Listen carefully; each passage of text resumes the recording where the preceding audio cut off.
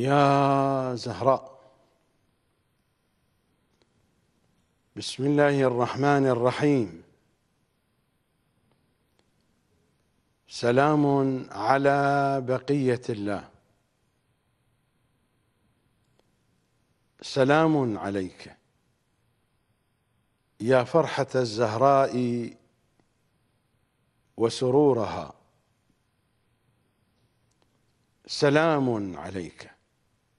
يا بهجة قلبها وحبورها.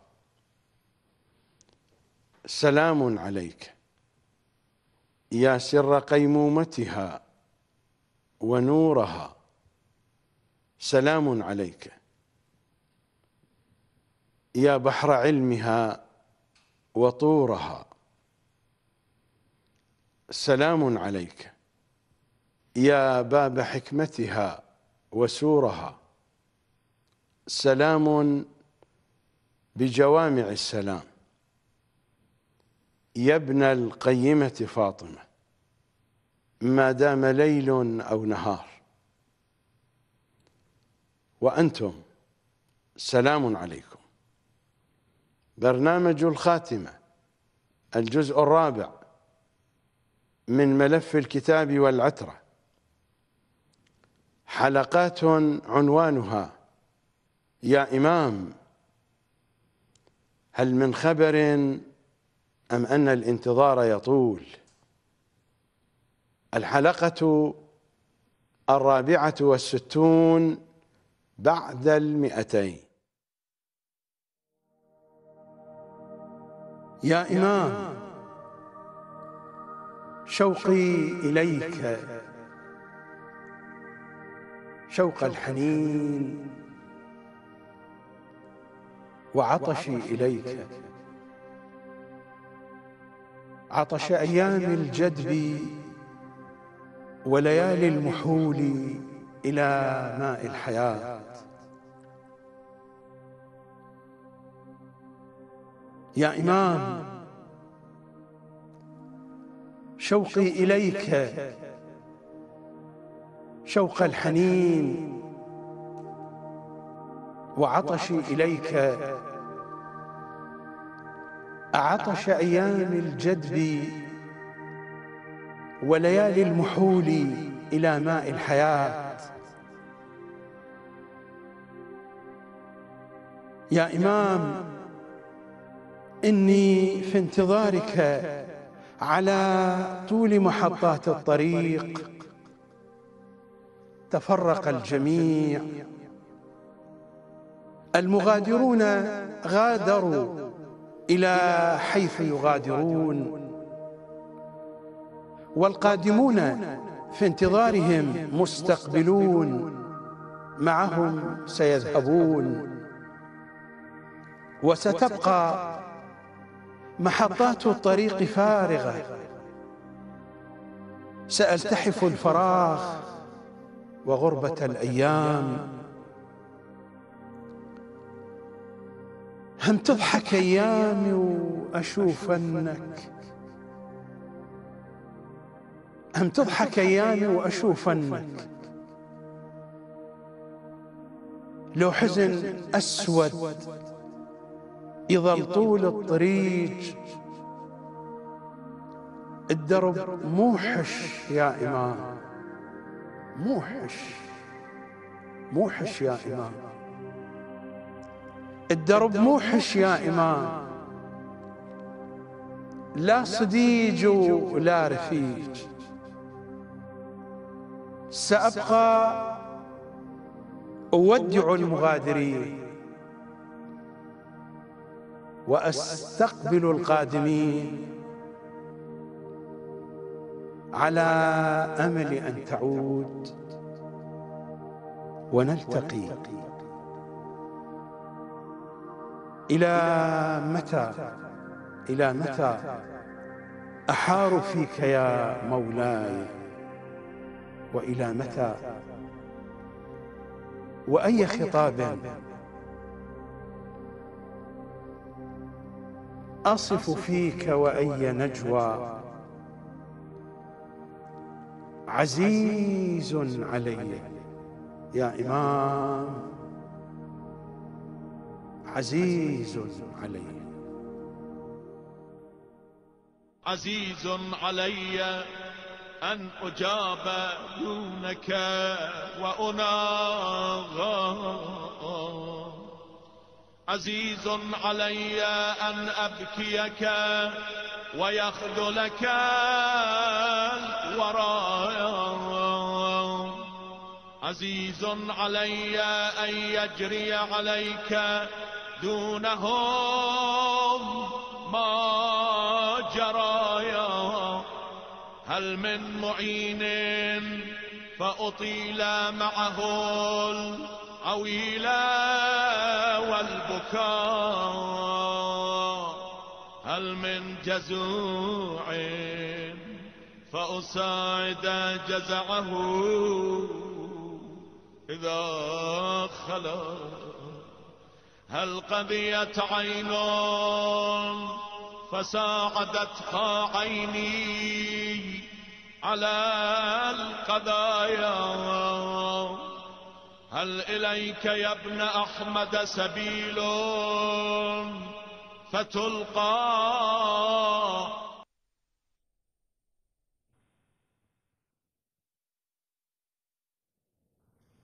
هذا هو الجزء العاشر من عنواننا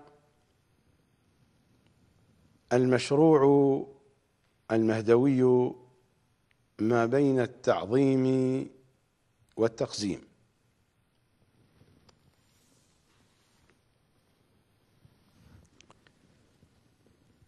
لا أريد أن أعيد ما تقدم من كلام في الحلقات الماضية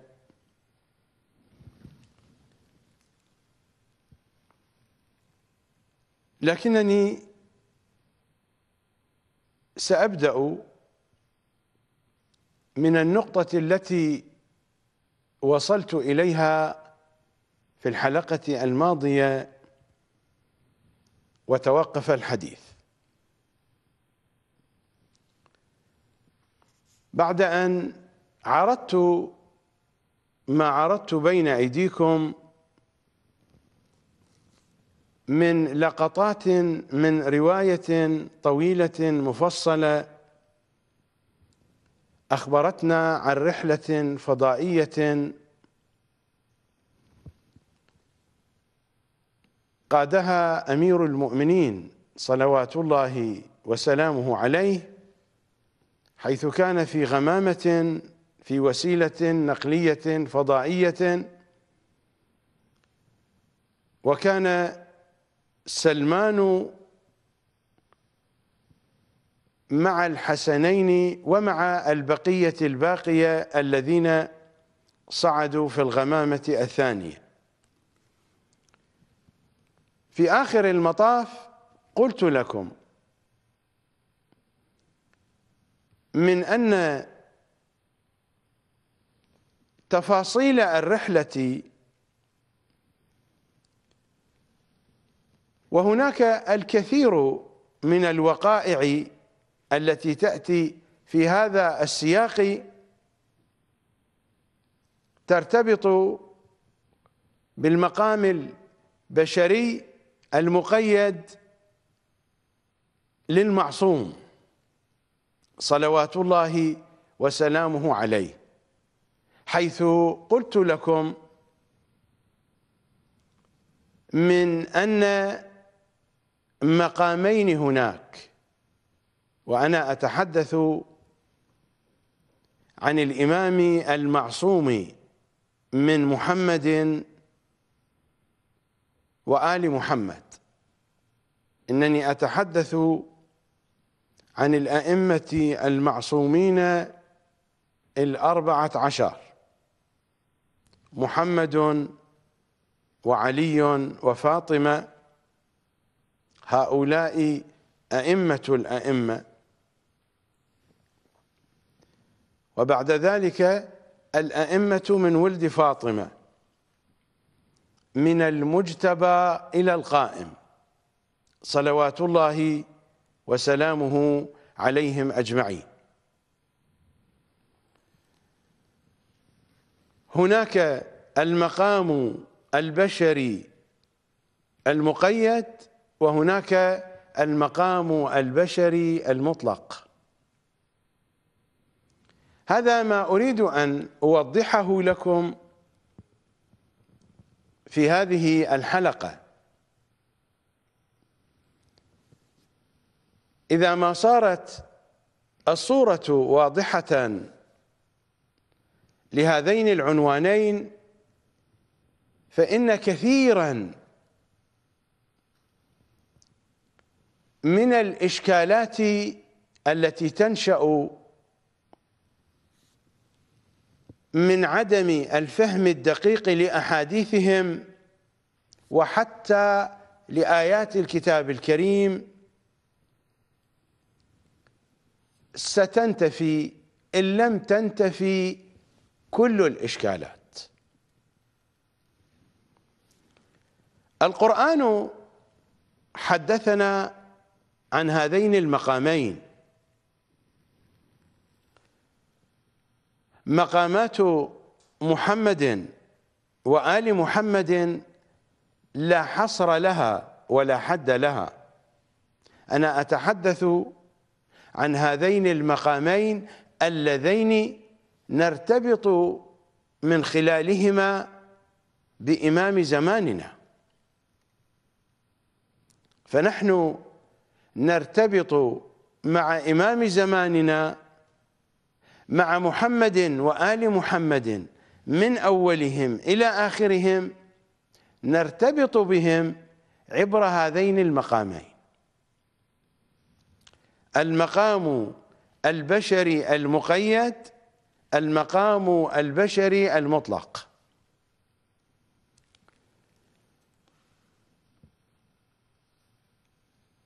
لا بد أن أضرب لكم مثالا والأمثلة مثل ما أقول دائما في مثل هذه المسائل تكون مقربة من وجه ومبعدة من وجوه عديدة. لكنني أتمنى عليكم أن تنظروا إلى الجهة المقربة دون أن تعير اهتماما للجهات المبعدة.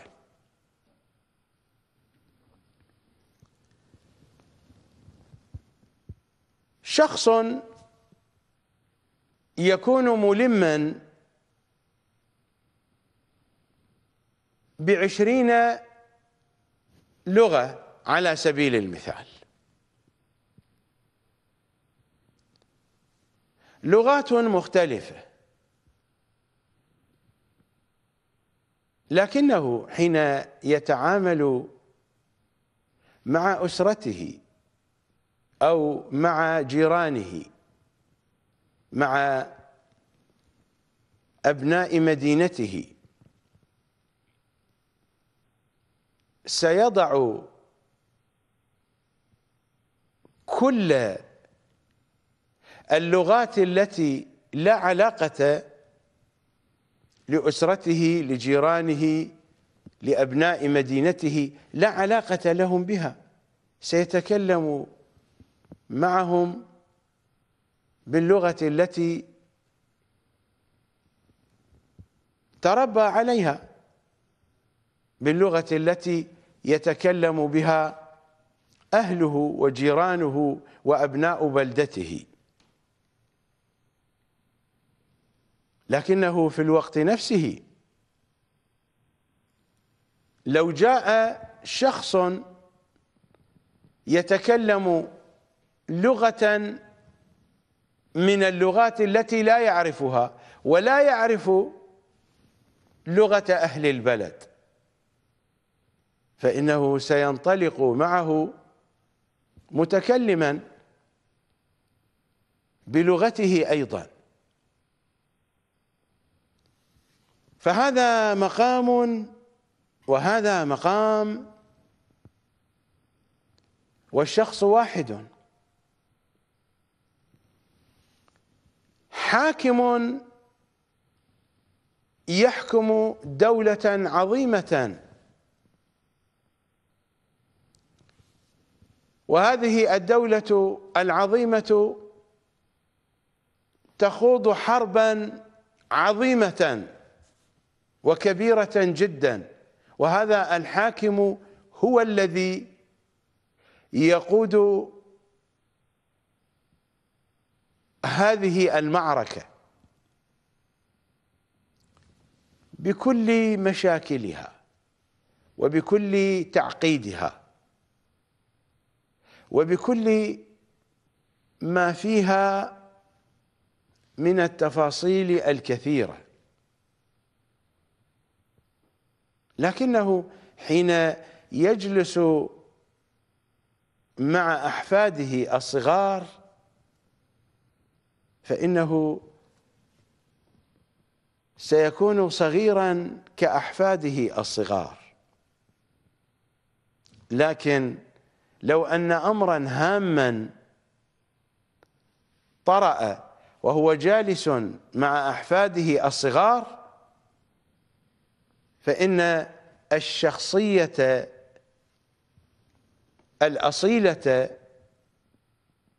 للحاكم للقائد للخبير هي التي ستتجلى. هذا هو شخص واحد.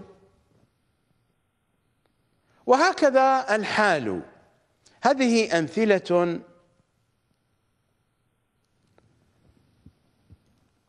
مقربة من وجه ومبعدة من عدة وجوه. أتمنى أن يكون نظركم قد وقع على الجهة المقربة فقط. لأنني حين أتحدث عن الإمام المعصوم وأتحدث عن المقام البشري المقيد وعن المقام البشري المطلق لا أتحدث بهذا المستوى. كمستوى شخص يكون ملما بعدد كبير من اللغات ولكنه يتكلم بلغة واحدة مع أسرته. أنا لا أقيس الأمر قياسا. الأمثلة تضرب ولا تقاس.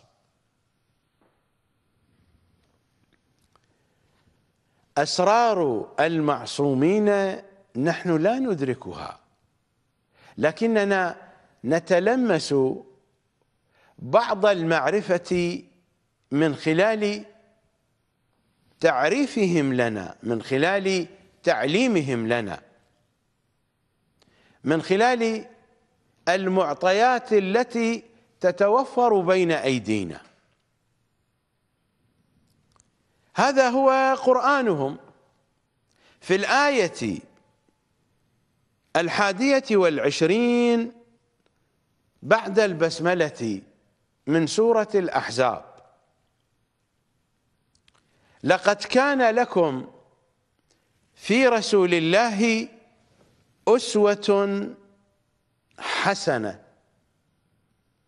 لمن كان يرجو الله واليوم الآخر وذكر الله كثيرا.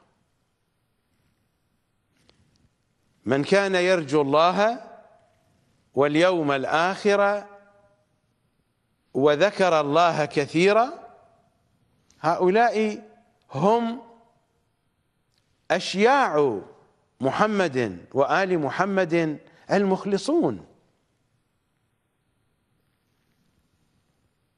لمن كان يرجو الله واليوم الآخرة وذكر الله كثيرا. له أسوة. من هو؟ رسول الله. محمد وآل محمد أسوتنا. لقد كان لكم في رسول الله أسوة حسنة. لمن كان يرجو الله واليوم الآخر وذكر الله كثيرا. الأسوة القدوة. والأسوة والقدوة.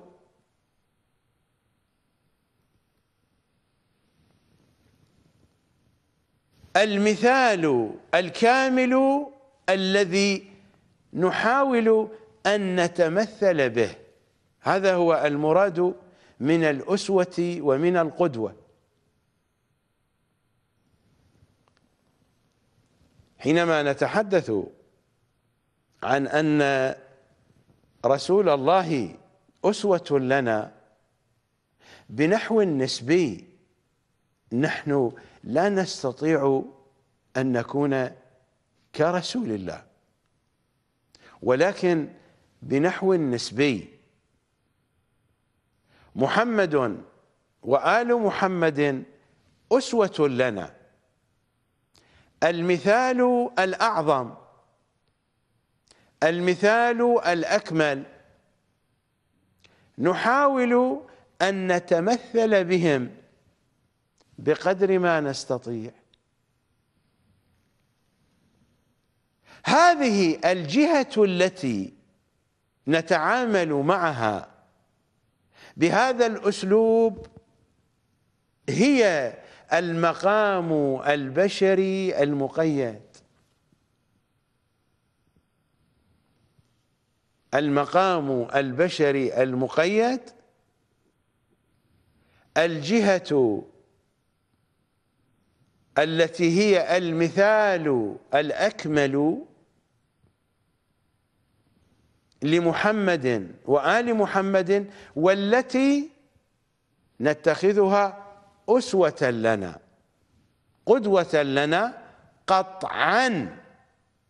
لن نستطيع أن نكون كهذه الأسوة كهذا المثال. وإنما نتمثل نحاول أن نتمثل بقدر ما نستطيع. القرآن هنا يحدثنا عن المقام البشري المقيد لرسول الله صلى الله عليه وآله. مقيد بالأسباب. هذا هو المراد من المقام البشري المقيد. مقيد بالأسباب.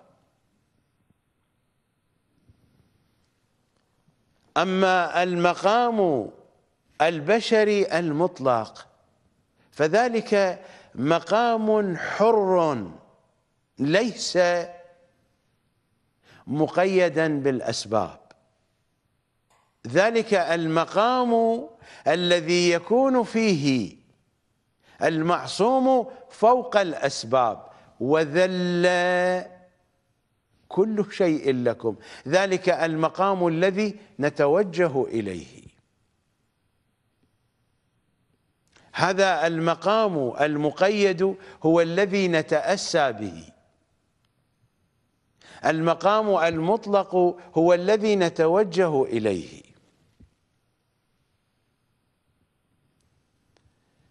هناك قاعدتان مهمتان في معرفة محمد وآل محمد. دائما أردد ذكرهما في مثل هذه الموضوعات.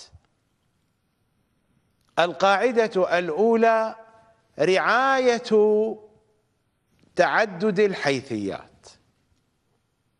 كما يقولون لولا الحيثيات لبطلت الحكمة وتلك حقيقة. لولا الحيثيات لبطلت العلوم من أولها إلى آخرها. وأتحدث هنا عن العلوم الدينية بالدرجة الأولى وعن العلوم الدنيوية بالدرجة الثانية. حتى العلوم المختبرية الحسية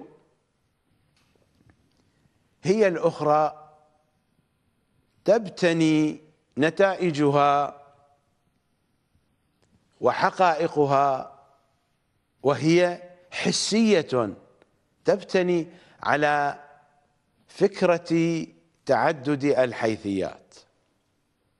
فما بالكم بالمعارف الدينية الغيبية؟ هذه القاعدة الأولى. رعاية تعدد الحيثيات. والقاعدة الثانية وهي القاعدة الذهبية العقائدية قاعدة حفظ المقامات. فكل مقام من المقامات أكان المقام ماديا أم كان المقام معنويا أم كان المقام نورانيا. في أعلى مراتب المقامات المعنوية كل مقام من هذه المقامات له خصائصه. وله مميزاته وله حدوده بحسب خصائصه بحسب مميزاته. إذا أردنا أن ندرك المعرفة السليمة فلا بد أن نحفظ لكل مقام حدوده. في دائرة خصائصه ومميزاته. حينئذ نستطيع أن نتلمس الحكمة. تلك هي الحكمة. الحكمة رعاية تعدد الحيثيات وحفظ المقامات. ومن هنا يقال لكل مقام مقال. لكل مقام مقال لأن المقال هو وصف لما يجري في ذلك المقام. والمقام سين هو غير المقام صاد. فالمقام سين له حدوده له خصائصه. والمقام صاد كذلك. فحينما ننظر إلى هذه المقامات لا بد من حفظها في دائرة حدودها. وإلا فإن الأمر سيتحول إلى خبط وخلط. وإذا تحول الأمر إلى خبط وخلط خصوصا في المعارف العقائدية الغيبية. وقعنا في متاهة من الضلال ليس لها من بوابة للخروج منها. حتى بوابة الدخول ستغلق ولا تفتح. فليس من بوابة في تلك المتاهة. إلا إلا بتوفيق من إمام زماننا أن يخلصنا من تلك المتاهة. من هنا أقول من أن أفضل ما على الإنسان أن يتعلمه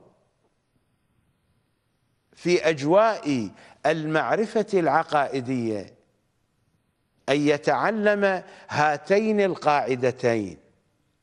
رعاية تعدد الحيثيات. وقاعدة حفظ المقامات. إذا ما داومتم على متابعة برامجي ورجعتم إلى البرامج السابقة فإنكم من حيث لا تشعرون ستتعلمون هاتين القاعدتين. لأنني أبني كل أحاديثي وبشكل دقيق على هاتين القاعدتين. أراعي الالتزام بهاتين القاعدتين بشكل دقيق في كل أحاديثي. ولأجل ذلك فإنني لا أطلق الكلام على عواهنه. إنني أنتقي كلماتي وأختارها اختيارا دقيقا. هذا هو الأصل في طريقتي وحديثي إلا إذا داهمتني الغفلة فحينئذ تلك هي الطبيعة البشرية.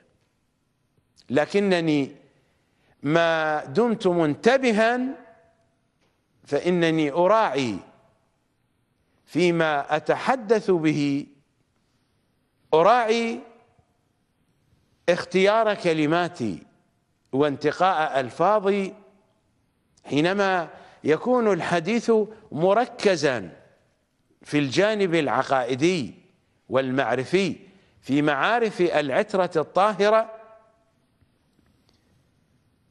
أكون منتبها جدا كي لا أخالف هاتين القاعدتين.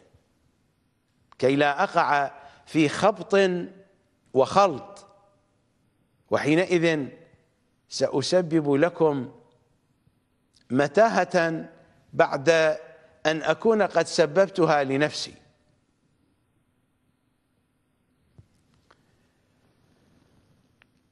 أعود إلى سورة الأحزاب.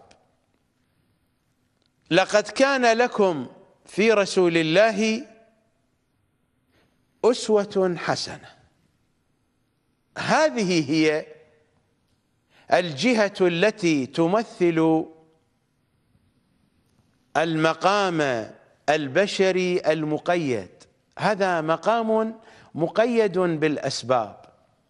إنه مقام الإمام وهو يأكل الطعام وهو يشرب الماء. وهو يستعمل الدواء. إنه مقام بشري مقيد بالأسباب مع ملاحظة أن الإمام بإمكانه أن يتجرد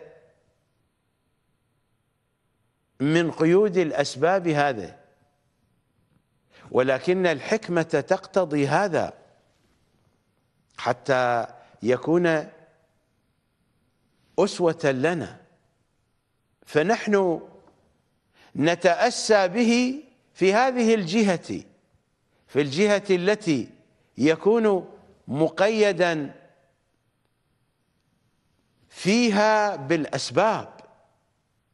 إذا لم يكن مقيدا بالأسباب فلا يمكن أن يكون أسوة لنا. في هذه الجهة يكون الإمام المعصوم أسوة لنا.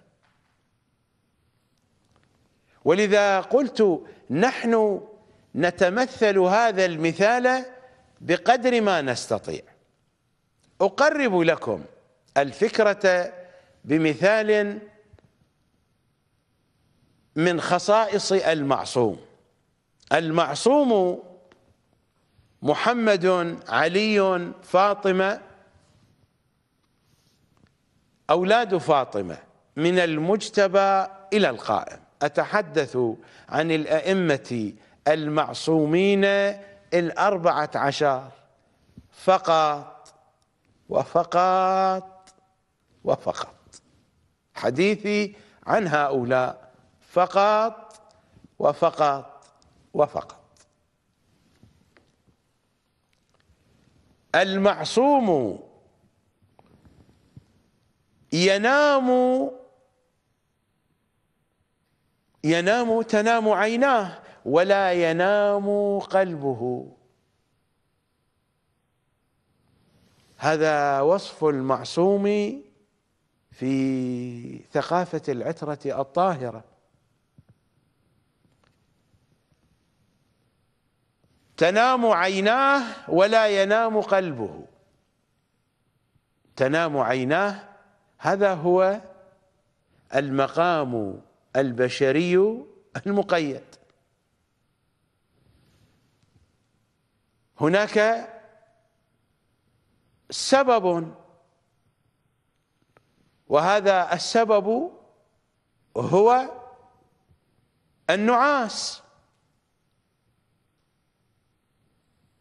المعصوم بإمكانه أن يتجرد من هذا القيد.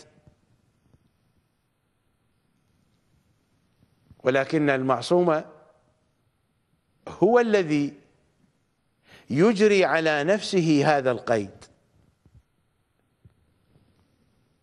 مثلما جرت الخيول وداست بحوافرها جسد الحسين. الحسين كان بإمكانه أن يمنع كل ذلك.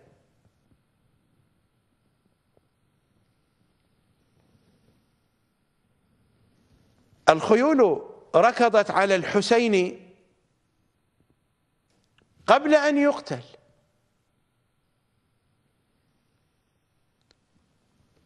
فهويت إلى الأرض جريحا في زيارة الناحية المقدسة. فهويت إلى الأرض جريحا. تطأك الخيول بحوافرها وتعلوك الطغاة ببواترها هذا جرى قبل أن يقتل الحسين. فهويت إلى الأرض جريحا حينما كان الحسين جريحا. تطأك الخيول بحوافرها. فكان الحسين قادرا أن يدفع هذا عن نفسه.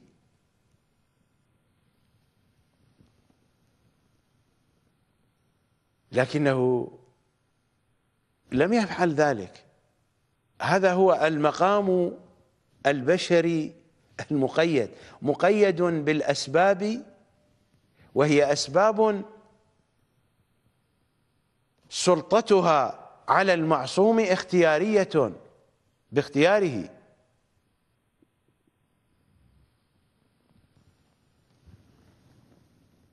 أبى الله إلا أن تجري الأمور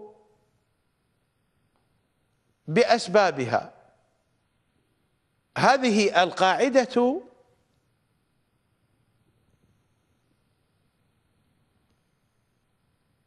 ما دون القانون وذل كل شيء لكم. وذل كل شيء لكم. هذا القانون فوق هذه القاعدة. فبإمكان المعصوم أن يتجرد من هذه الأسباب وإنه ليفعل هذا في بعض الأحيان.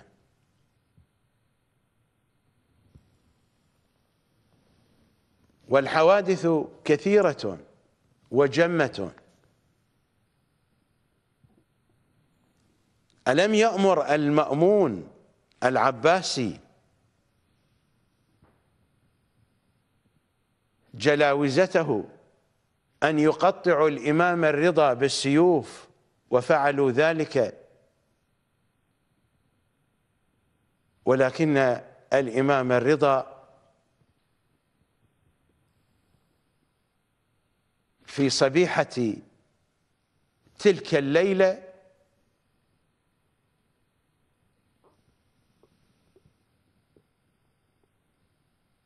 كان على أتم هيئة وأجمل صورة وليس هناك من أثر لضرب السيوف في الليلة الماضية. ومثل هذا كثير. أنا هنا لست بصدد الحديث عن هذه التفاصيل الصغيرة. المقام البشري المقيد تنام عيناه. المقام البشري المطلق ولا ينام قلبه فقلبه محيط بالأشياء عالم بها.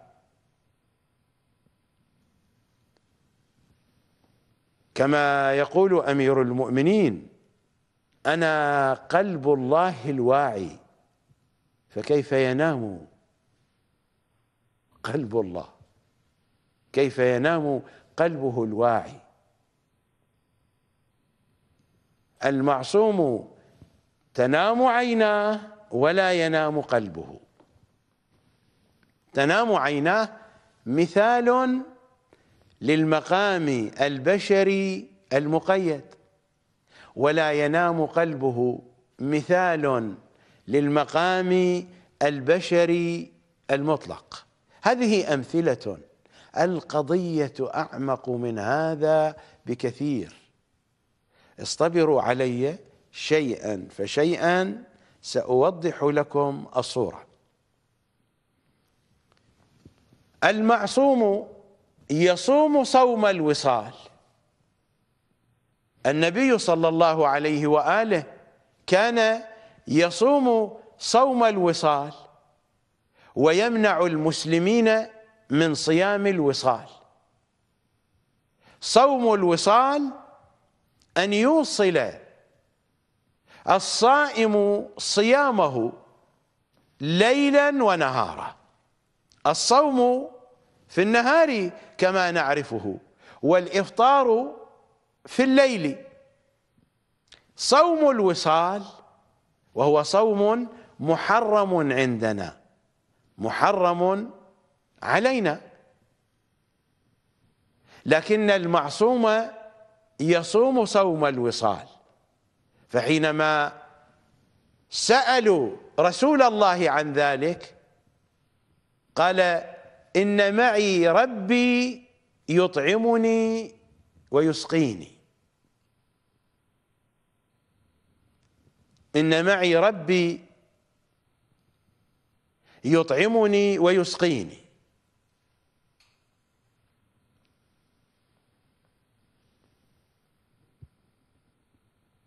الصوم في النهار فقط وبعد ذلك يكون الإفطار على الطعام والشراب. هذا إذا فعله المعصوم مثال من أمثلة تطبيق المقام البشري المقيد. وإذا صام صوم الوصال فهذا مثال من أمثلة تطبيق المقام البشري المطلق. إن معي ربي يطعمني ويسقيني. ماذا نقرأ في سورة الإنسان؟ في سورة الدهر. ماذا نقرأ فيها؟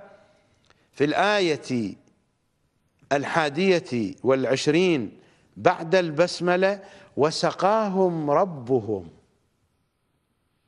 ربهم الضمير هنا يعود على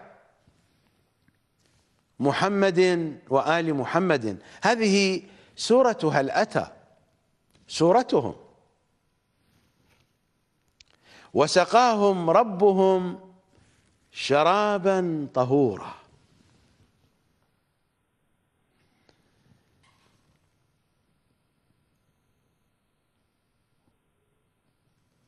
كيف أفسر هذه الآية؟ المقام ليس لتفسير هذه الآية لكنني أتمنى عليكم أن تتدبروا فيها بعد البرنامج. وسقاهم ربهم. الساقي هو سبحانه وتعالى. وسقاهم ربهم شرابا طهورا. أي شراب هذا؟ انظروا إلى الساقي وانظروا إلى الذين سقوا وانظروا إلى هذا الشراب. وما معنى الطهور هنا؟ هذا شأن بينهم وبينه. ما دخلنا نحن فيما بينهم. لا فرق بينك وبينها إلا أنهم عبادك وخلقك وسقاهم ربهم شرابا طهورا. إن معي ربي يطعمني ويسقيني. إذا أردت أن أذهب معكم في مثل هذه الأمثلة فإن الحلقة ستنتهي ولا ينتهي الكلام. إذا هذا هو المقام البشري المقيد. ومثل ما قلت لكم هو مقيد بالأسباب. وبالأسباب الاختيارية اختيارا. بإمكان المعصوم أن يتحرر من هذه القيود من سلطة هذه الأسباب. هو الذي سلطها على نفسه. مثلما تسلط السيف على رأس أمير المؤمنين في مسجد الكوفة. نذهب إلى فاصل.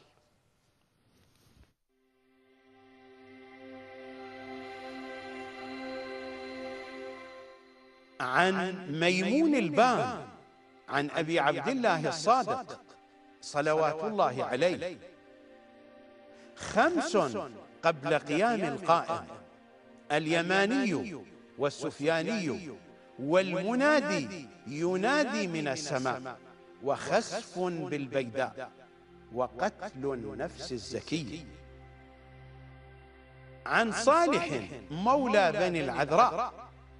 قال سمعت أبا عبد الله الصادق صلوات الله عليه يقول ليس بين قيام قائم آل محمد وبين قتل النفس الزكية إلا خمسة عشر ليل. عن المعلى ابن خنيس. عن إمامنا الصادق صلوات الله عليه. إن أمر السفياني من الأمر المحتوم وخروجه في رجب. عن الحارث بن المغيرة. عن إمامنا الصادق صلوات الله عليه.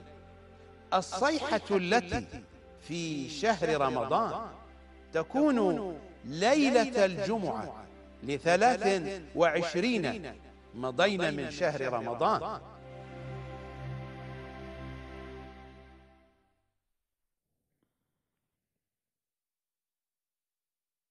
هناك تعريف موجز ومركز لمعنى أسوتنا بمحمد وآل محمد. جاء في زيارة آل ياسين. أقرأ عليكم من مفاتيح الجنان. زيارة آل ياسين هذه الزيارة المهدوية المعروفة. ماذا نقرأ فيها؟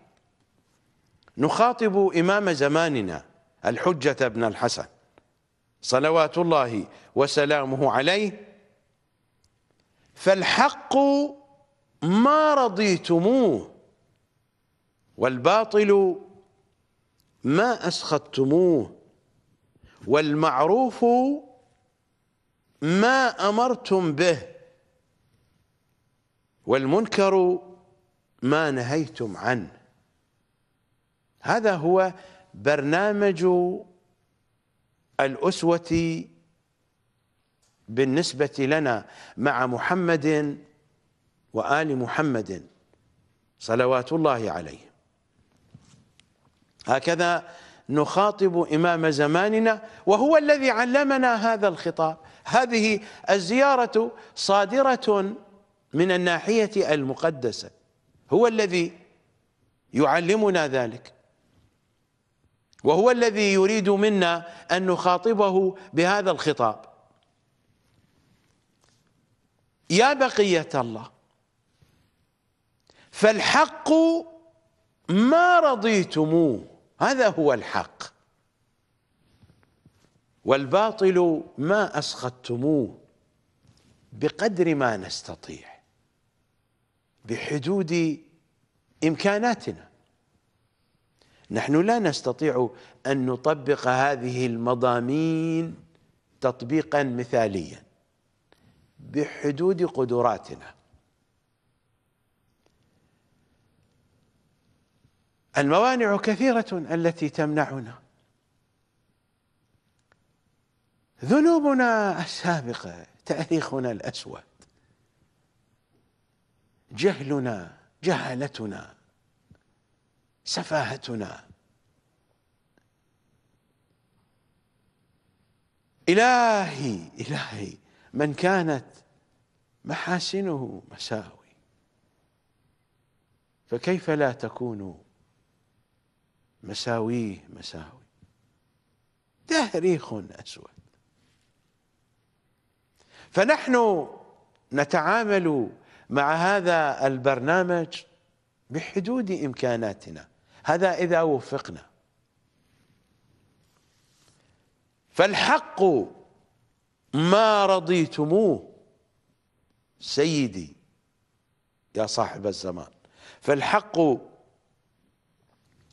ما رضيتموه والباطل ما أسخطتموه والمعروف ما أمرتم به والمنكر ما نهيتم عنه. زبدة هذا أين؟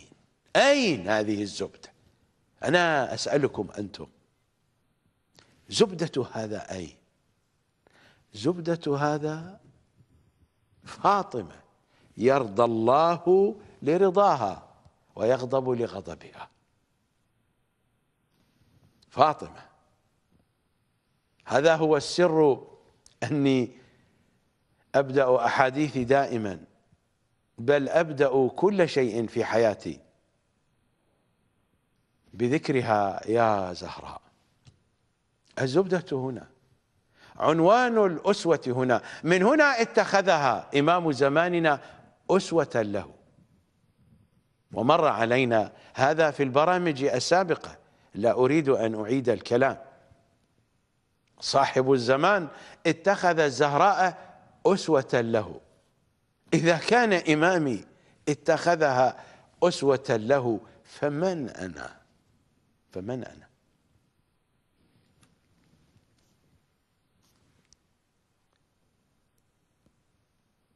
فالحق ما رضيتموه والباطل ما أسخطتموه والمعروف ما أمرتم به والمنكر سيدي يا بقية الله ما نهيتم عنه.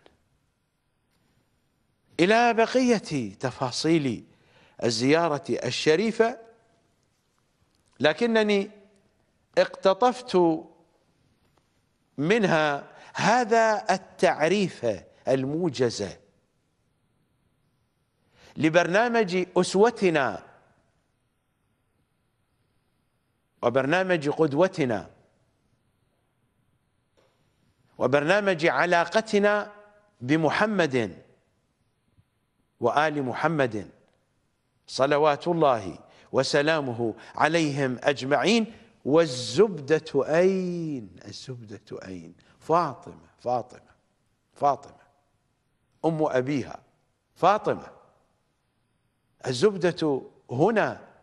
محمد صلى الله عليه وآله هو الذي يقول فاطمة روحي التي بين جنبي.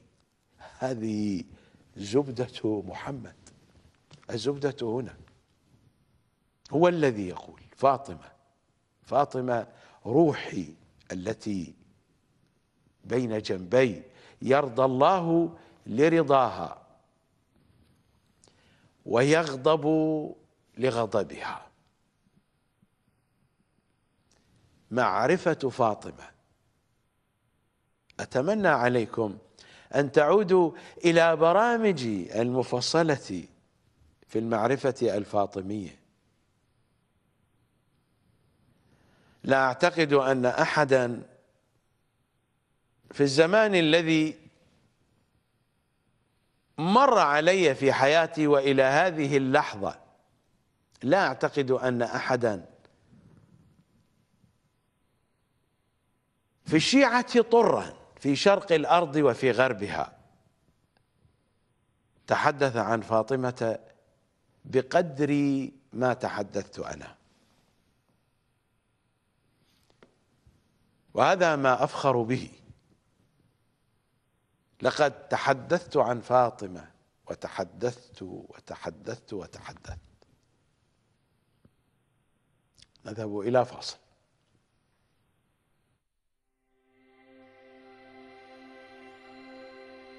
عن عبد الله بن الفضل الهاشمي.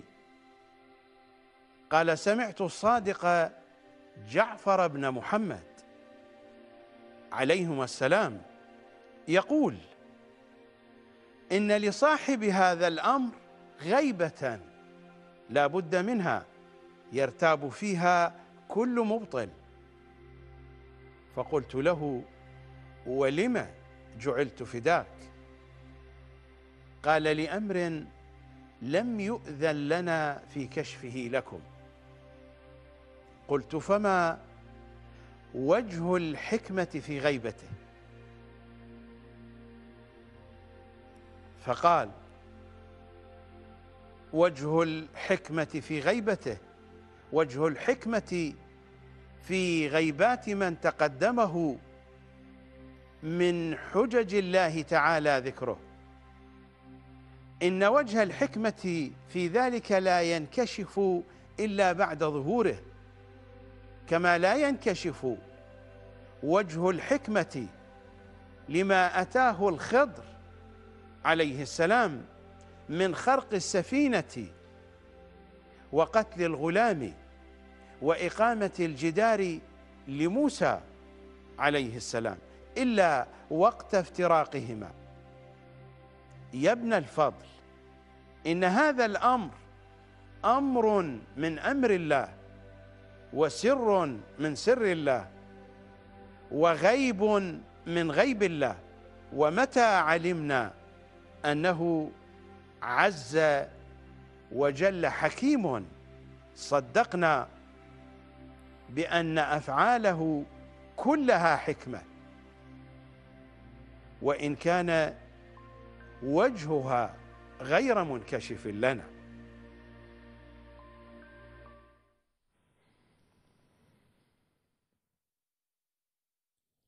المقام البشري المطلق للإمام المعصوم.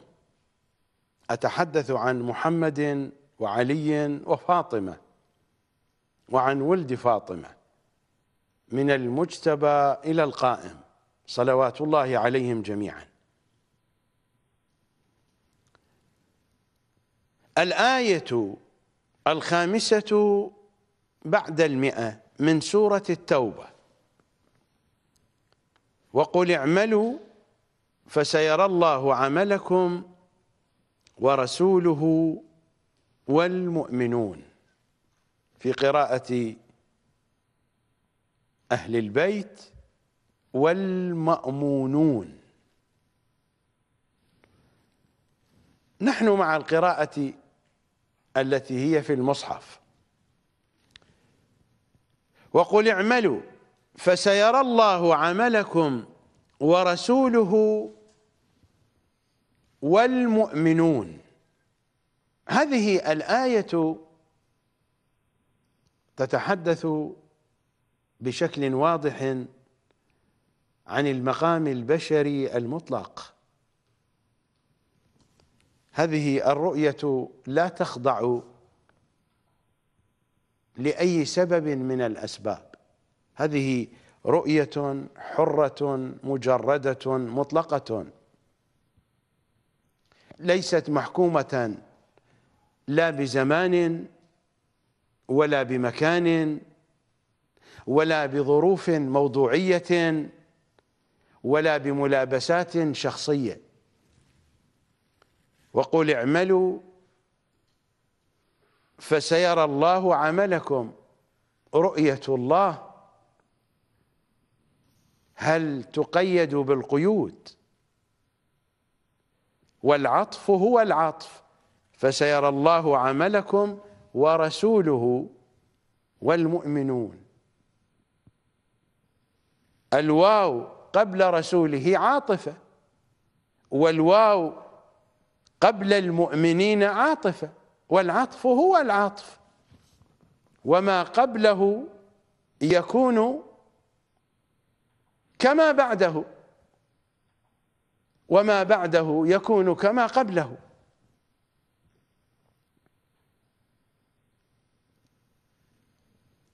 رؤية تتجاوز الأزمنة وتتجاوز الأمكنة. هذه رؤية حتى للذي يجري في دواخلنا.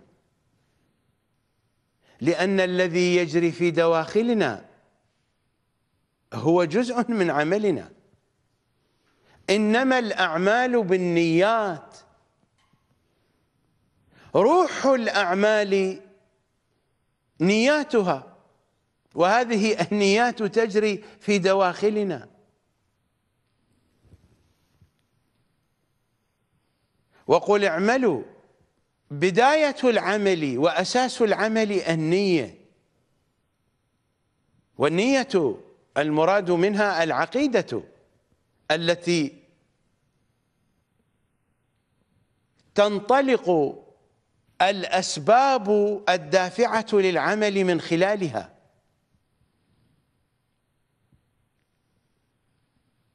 فهذه الرؤية ناظرة إلى معتقداتنا ناظرة إلى خلجاتنا النفسية ناظرة إلى طوايانا. وماذا يجري في غيب ضمائرنا؟ هذه رؤية تتعالى على القيود والأسباب وليست مختصة ببني البشر. فمحمد مبعوث رحمة للعالمين لكل العوالم لما يرى وما لا يرى. هذه رؤية تتجاوز كل العوائق التي يستطيع الخيال أن يتخيلها والتي تتجاوز الخيال. خيالنا لا يستطيع أن يتخيلها. رؤية مطلقة هذه. وقل اعملوا فسيرى الله عملكم ورسوله والمؤمنون. هذه لحظة لقطة من المقام البشري المطلق. تطبيق للقانون وذل كل شيء لكم. ليس هناك من أسباب ليس هناك من موانع. ليس هناك من عوائق إنها رؤية مطلقة حرة مجردة مفتوحة. وقل اعملوا فسيرى الله عملكم. ورسوله والمؤمنون إنها الإحاطة. هذا هو المقام البشري المطلق مقام الإحاطة للمعصوم. أنقل لكم رواية قد تقبلونها قد ترفضونها هذا أمر راجع إليكم. لكن هذه الرواية تخبرنا بوجه من الوجوه عن هذا المقام. بل تخبرنا عن المقامين في الوقت نفسه. هذه الرواية ينقلها أحمد المستنبط السيد أحمد المستنبط في كتابه القطرة من بحار مناقب النبي والعترة. القطرة من بحار مناقب النبي والعترة. ينقل الحادثة عن جعفر الششتري الشيخ جعفر الششتري التستري. يقال له التستري الششتري كان من مراجع الشيعة في عصره وكان يرتقي المنبر الحسيني. معروف في الأجواء الحسينية. ينقل هذه الرواية عنه. ذكرها في كتابه القطرة من بحار مناقب النبي والعترة. في الوقت الذي كان فيه إمامنا الصادق في مدينة بغداد حينما استجلبه الدوانيقي المنصور العباسي الدوانيقي. في يوم من الأيام كان ماشيا مع بعض أصحابه على شاطئ دجلة. ودجلة نهر عريض في بغداد نهر عظيم في بغداد. وإن شح عليه الزمان في أيامنا هذه. ولكنه كان نهرا عريضا مواجا. تسير فيه السفائن والزوارق في ذلك الزمان. وكان مواجا بمائه على أي حال فكان الإمام الصادق يسير مع بعض أصحابه على شاطئ دجلة. وإذا بشيخ كبير برجل كبير من شيعة الإمام الصادق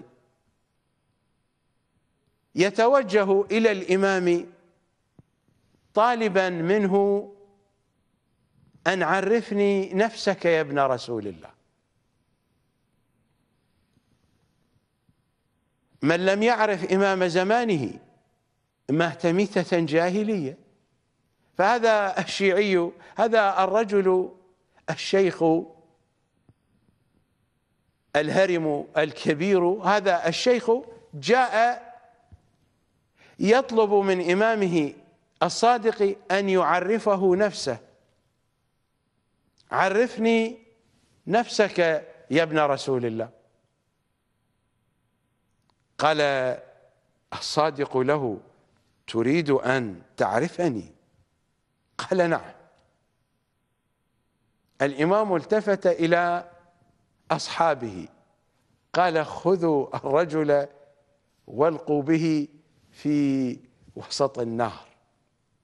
شيء غريب. الرجل استغرب ذلك. يا ابن رسول الله أريد أن أعرفك وأنت تلقي بي في النهر.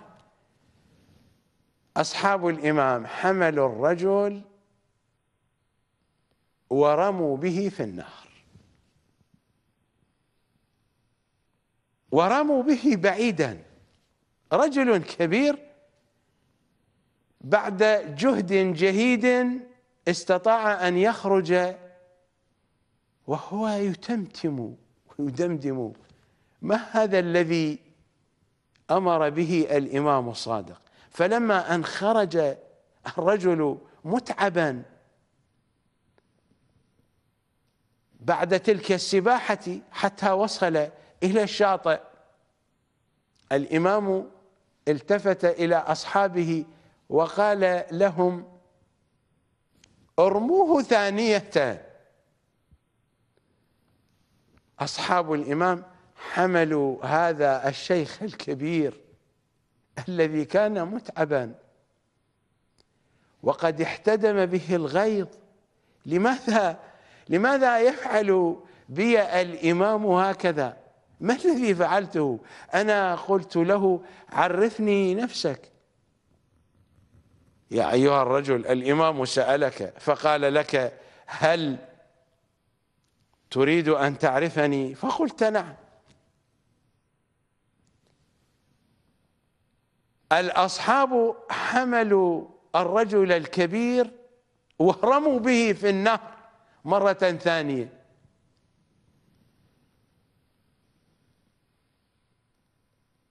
كاد أن يهلك الرجل. لكنه استطاع أن يخرج من النهر بعد عناء شديد. لما خرج إلى الشاطئ الإمام أمر أصحابه مرة ثالثة أن ارموا به في النار أصحاب الإمام حملوا هذا الرجل المنهك الذي عانى ما عانى من المرة الأولى والمرة الثانية حينما ألقي به في النار بحسب أمر الإمام أصحاب الإمام تسليما لأمره أخذوا هذا الرجل الكبير في السن وألقوا به ثالثة في النار هذه المرة لم يستطع الرجل أن يعود إلى الشاطئ. أخذته الأمواج أمواج النهر. أخذه الماء في جريانه إلى وسط دجلة.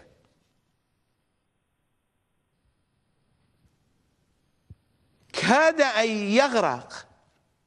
الإمام الصادق كان واقفا على شاطئ النهر لما رأى أن الرجل كاد أن يغرق لم يستطع أن ينجو بنفسه مثلما فعل في المرة الأولى والثانية.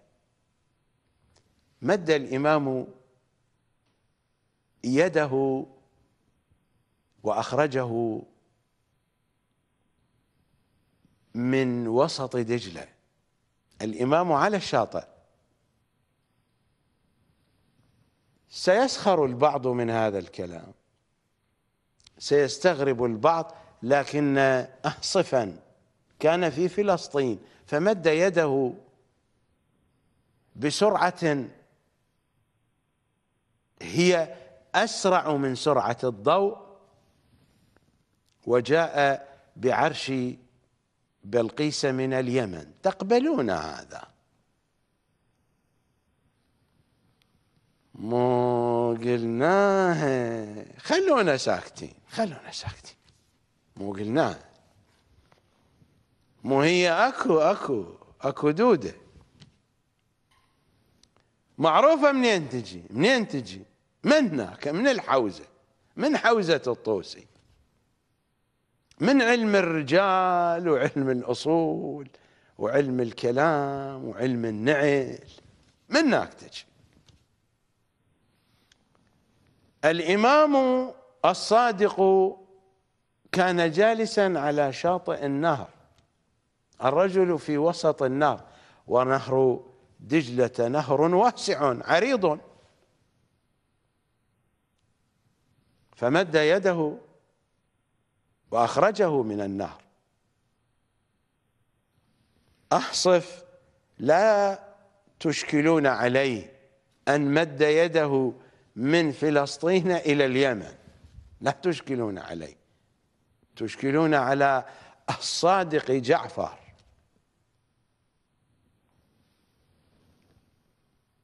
وما أحصف إلا فرد من أفراد شيعته. على أي حال أنا لا أريد أن أقارن بين إمامنا الصادق وبين آصف. ولكن هذا الكلام أضطر إليه لأنني أخاطب أناسا يحتاجون لمثل هذا الخطاب.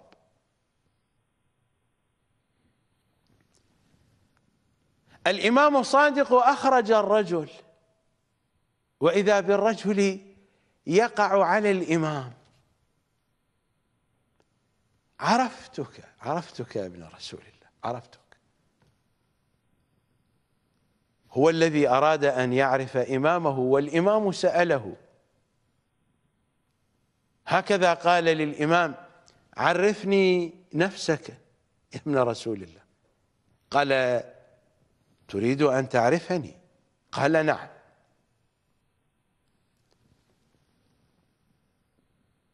لما سألوا الرجل ما الذي عرفته يا رجل بعد أن كنت غاضبا محتدما تتمتم تدمدم غضبا حنقا بسبب إلقائك لأكثر من مرة في نهر دجلة؟ قال في المرة الثالثة حينما جرفني الماء إلى وسط النهر وما كنت قادرا على السباحة وأيقنت بالهلاك فلقد خرجت من كل روحي من كل قلبي هذه الكلمة. أن استغثت يا الله يا الله. فما الذي رآه الرجل؟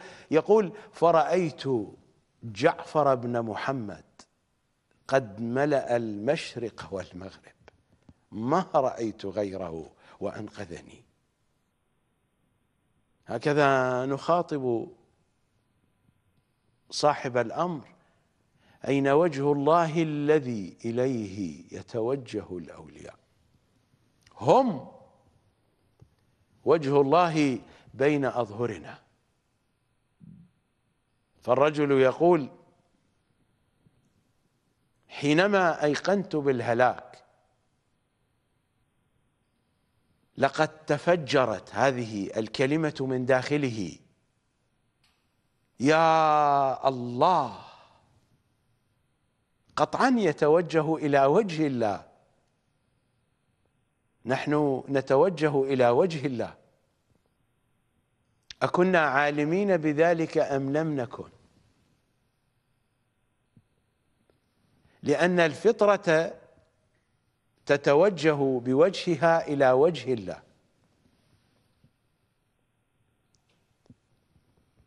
هو يقول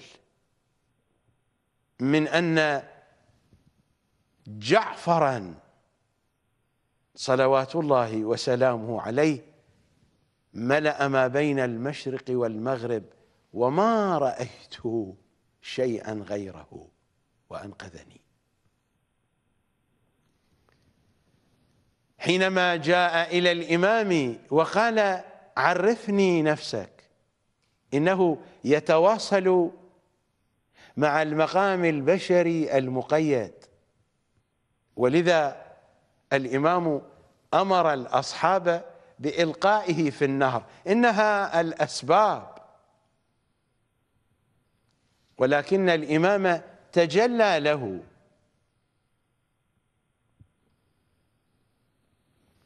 في وجه من وجوه المقام البشري المطلق. عرفتم الآن المراد من المقام البشري المقيد والمراد من المقام البشري المطلق. هذه الرواية تقرب المعنى كثيرا. لهذا السبب أنا جئت بها مثالا. كي أقرب لكم الفكرة كي أقرب لكم الصورة. تدبروا فيها كثيرا نذهب إلى فاصل.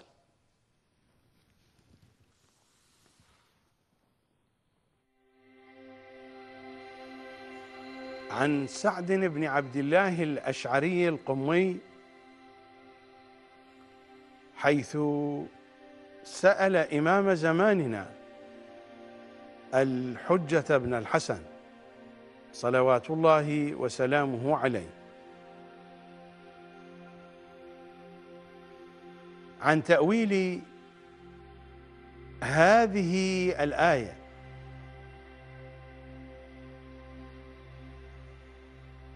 فاخلع نعليك ما جاء في سورة طه. فاخلع نعليك إنك بالوادي المقدس طوى. سؤال سعد الأشعري عن معنى اخلع نعليك قلت إنه سعد الأشعري. قلت فأخبرني يا مولاي عن التأويل فيهما.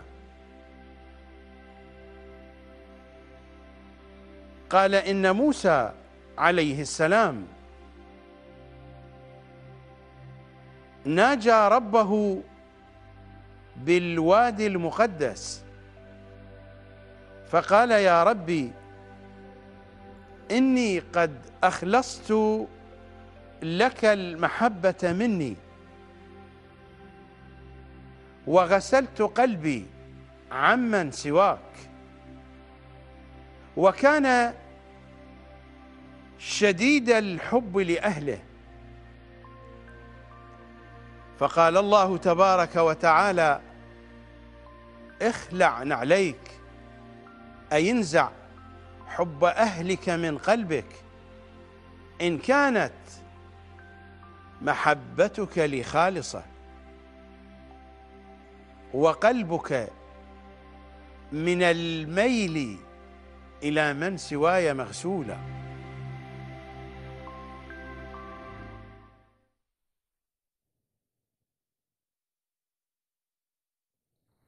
سأذهب بكم إلى دستورنا العقائدي الأصيل إلى زيارة الجامعة الكبيرة. الزيارة تحدثت عن المقامين في جهات عديدة مما ورد فيها من بيانات بليغة دقيقة عميقة. أقرأ عليكم من مفاتيح الجنان. على سبيل المثال هذا المطلب مطلب واسع جدا. وإلى هذه اللحظة فإنني ما تكلمت بشيء. هذا الموضوع بحاجة إلى برنامج خاص به. لكنني كنت مضطرا أن أطرح هذا الموضوع بهذه البساطة وليس بعمقه الحقيقي. بهذه البساطة لأنني محتاج إليه في حديثي عن المشروع المهدوي ما بين التعظيم والتقزيم. فهذا جزء من مطالب مسار التعظيم كي تميزوا بين مسار الهداية الذي هو مسار التعظيم ومسار الضلالة والسفاهة والحقارة والحماقة الذي هو مسار التقزيم مسار حوزة الطوسي.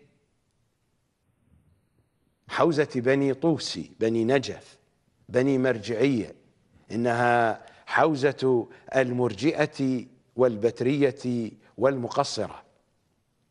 حوزة التقزيم فأنتم بين منهجين بين منهج قناة التعظيم إنها قناة القمر وحوزة التقزيم إنها حوزة النجف.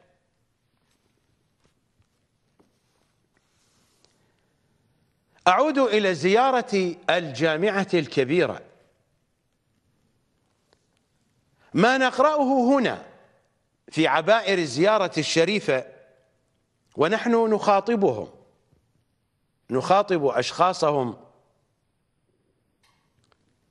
ودعوتم إلى سبيله بالحكمة والموعظة الحسنة.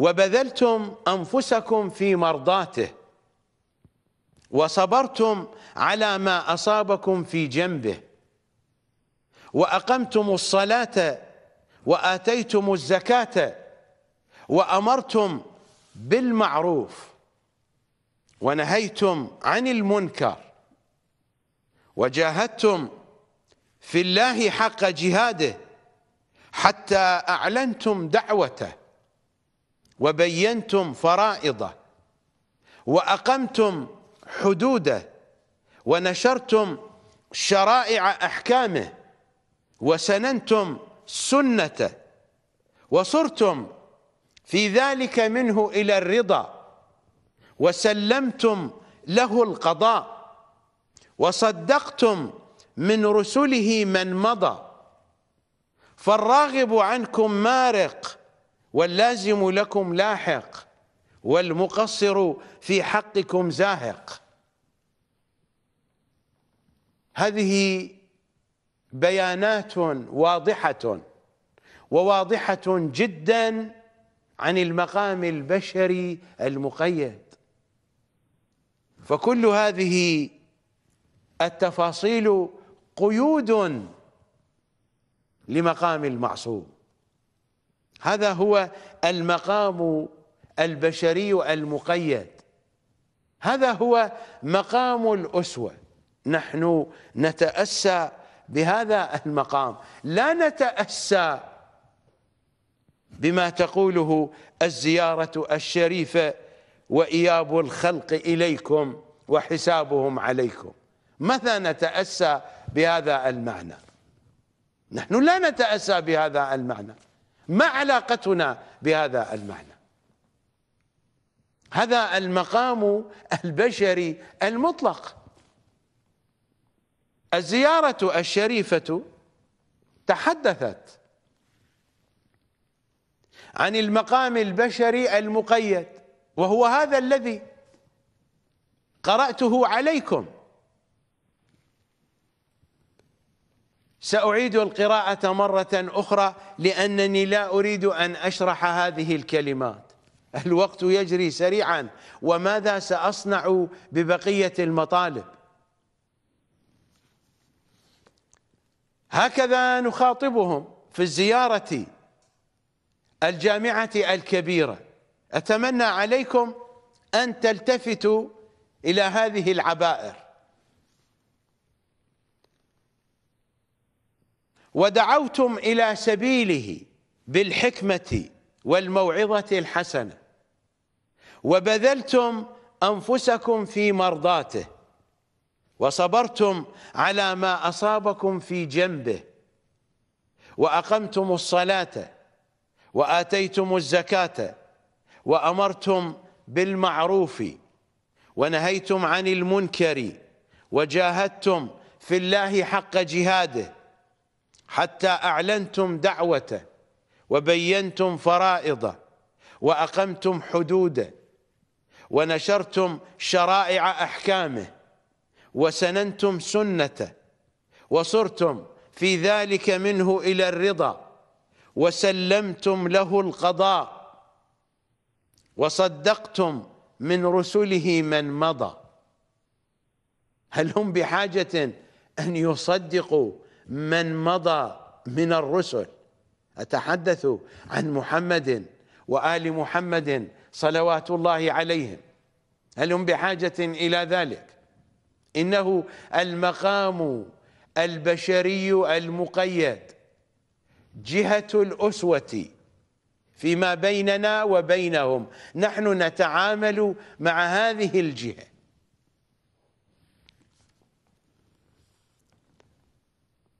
وصدقتم من رسله من مضى فالراغب عنكم مارق. واللازم لكم لاحق. والمقصر في حقكم زاهق. وتستمر الزيارة الشريفة والحق معكم وفيكم ومنكم وإليكم. وأنتم أهله ومعدنه. وميراث النبوة عندكم. هذا مقام برزخي فيما بين المقام البشري المقيد والمقام البشري المطلق. والحق معكم وفيكم ومنكم وإليكم وأنتم أهله ومعدنه وميراث النبوة عندكم وإياب الخلق إليكم. تجلى المقام البشري المطلق وإياب الخلق إليكم وحسابهم عليكم. أين التأسي في قول الزيارة وميراث النبوة عندكم؟ وأين التأسي في قول الزيارة والحق معكم وفيكم ومنكم وإليكم؟ فهل أستطيع أن أكون كذلك؟ حتى لو أصبحت نبيا من الأنبياء فإنني لا أستطيع أن أكون كذلك. فما الأنبياء إلا من شيعتهم.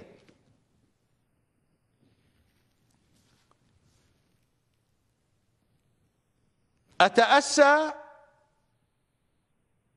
بالعبائر المتقدمة. وأقمتم الصلاة وآتيتم الزكاة وأمرتم بالمعروف ونهيتم عن المنكر وجاهدتم في الله حق جهاده حتى أعلنتم دعوته. يمكنني أن أتأسى بحدودي قطعا في هذه الجهات فعلاقتي مع إمامي هي في هذه الجهة. أتحدث عن الأسوة عن القدوة في هذه الجهة.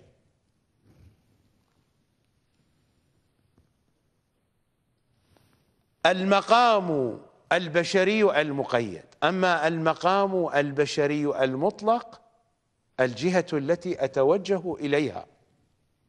وجه الله في عقيدتي في عبادتي في ديني. أتوجه إلى وجه الله. أين وجه الله الذي إليه يتوجه الأولياء؟ المطالب دقيقة وعميقة ولكنني ماذا أصنع للوقت؟ بإمكانكم أن تعودوا إلى برامجي السابقة كي تطلعوا على هذه التفاصيل.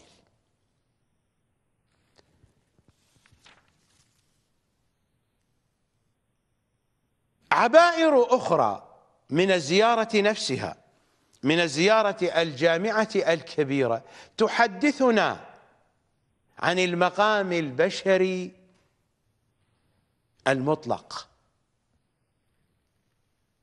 للإمام المعصوم من محمد وآل محمد. أتحدث عن محمد وعلي وفاطمة إنهم أئمة الأئمة. وعن الأئمة من ولد فاطمة من المجتبى إلى القائم. صلوات الله عليه. هكذا نخاطبهم. بأبي أنتم وأمي ونفسي وأهلي ومالي. من أراد الله بدأ بكم. ومن وحده قبل عنكم. ومن قصده المكتوب هنا توجه بكم نسخة محرفة توجه إليكم. لقد حرفت الزيارة الجامعة الكبيرة في نسختها في كتاب الفقيه لشيخنا الصدوق. هكذا وردت في كتاب الفقيه. ومن قصده توجه بكم. وحرفت أيضا في كتاب التهذيب لشيخنا الطوسي لشيخ الطائفة. بالنتيجة نحن من هذه الطائفة وهذا هو شيخها فماذا نصنع؟ حرفت في كتابه التهذيب. لكن في عيون الأخبار لشيخنا الصدوق بقي النص الصحيح لم يلتفتوا إلى أن نصا للزيارة الجامعة الكبيرة كان موجودا في العيون فحرفوا المصدرين الرئيسين. حرفوا الزيارة الجامعة الكبيرة في الفقيه وفي التهذيب لكن النص الذي لم تصل إليه يد التحريف في عيون الأخبار. ومن قصده توجه إليكم. مثل ما جاء في دعاء الندبة الشريف أين وجه الله الذي إليه يتوجه الأولياء وليس به؟ من أراد الله بدأ بكم ومن وحده قبل عنكم. هذه مرحلة تمهيدية يتواصل فيها المقام البشري المقيد مع المقام البشري المطلق من حيث نحن لا من حيث هم من حيث هم حقيقة واحدة. هم حقيقة واحدة. الإمام المعصوم حقيقة إلهية ربانية واحدة. حقيقة متماسكة من أولها إلى آخرها. إنه هو الذي يتحدث عنه دعاء السحر اللهم إني أسألك من جمالك بأجمله. هو أجمل الجمال هو أجل الجلال هو أكمل الكمال هو أعظم العظمة هو أنور النور إلى بقية المضامين في الدعاء الشريف. إنه الحقيقة الواحدة المتكاملة المتماسكة الأرقى. هذا الكلام من حيث نحن. فإن النخعي حين سأل الإمام الهادي ماذا قال له؟ علمني يا ابن رسول الله. قولا أقوله أنا أنا أقوله. قولا أقوله بليغا كاملا. إذا زرت واحدا منكم. هذا ما هو بقول أنت تقوله يا ابن رسول الله بحسبك؟ هذا قول تقوله لي بحسبي أنا. الجواب يأتي على قدر السؤال. حينما نسأل حكيما بسؤال فإن الحكيم يجيب بقدر السؤال. إذا أجاب بإجابة فيها زيادة على السؤال هذا ما هو بحكيم؟ فهذا السائل يسأل الإمام الهادي علمني يا ابن رسول الله. قولا أقوله أنا أنا الشيعي. قولا أقوله بليغا كاملا بحسب أنا. هذه البلاغة وهذا الكمال بحسب أنا أنا الشيعي أنا الزائر. علمني يا ابن رسول الله. قولا أقوله بليغا كاملا إذا زرت واحدا منكم. أنا الشيعي أريد أن أزور واحدا منكم. فعلمني يا أيها الحكيم يا سيد الحكمة علمني قولا. أقوله بليغا كاملا بحسب أنا. إذا زرت واحدا منكم لا بحسبك أنت. الحكيم لا بد أن يجيب بحدود الطلب بحدود السؤال. هذا هو الطلب وهذا هو السؤال. فالنخعي موسى ابن عبد الله النخعي يريد من الإمام أن يعلمه قولا بليغا كاملا بحسبه هو بحسب النخعي بحسب الشيعي بحسب أنا فلان ابن فلان ابن فلانة. بحسبكم أنتم. لا بحسب الإمام الهادي نفسه. فجواب الحكيم لا بد أن يكون على قدر السؤال. عطاء الحكيم لا بد أن يكون على قدر الحاجة. من هنا جاءت الزيارة الجامعة الكبيرة بحسب أنا وبحسبكم أنتم. من أراد الله بدأ بكم ومن وحده قبل عنكم. هذا تمهيد وتواصل ما بين المقام البشري المقيد والمقام البشري المطلق. ومن قصده توجه إليكم. هذا هو المقام البشري المطلق. موالي لا أحصي ثناءكم ولا أبلغ من المدح كنهكم ومن الوصف قدركم. الحديث عن المقام البشري المطلق. ومن قصده توجه إليكم موالي لا أحصي ثناءكم ولا أبلغ من المدح كنهكم ومن الوصف قدركم وأنتم نور الأخيار فهل أنا أستطيع أن أكون في مقام التأسي والاقتداء بهذا الوصف هم نور الأخيار فماذا سأكون أنا؟ وأنتم نور الأخيار وهداة الأبرار وحجج الجبار فهل سأكون حجة أنا؟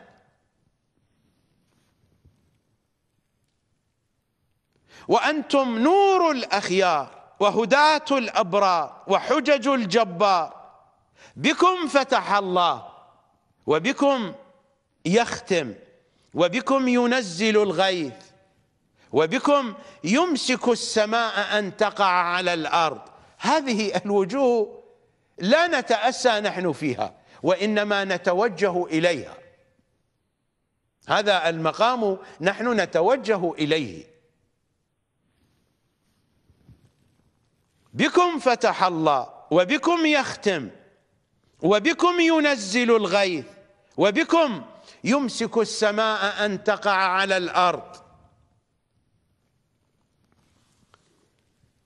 وبكم يمسك السماء أن تقع على الأرض إلا بإذنه. وبكم ينفس الهم ويكشف الضر. وعندكم ما نزلت به رسله وهبطت به ملائكته. نذهب إلى فاصل.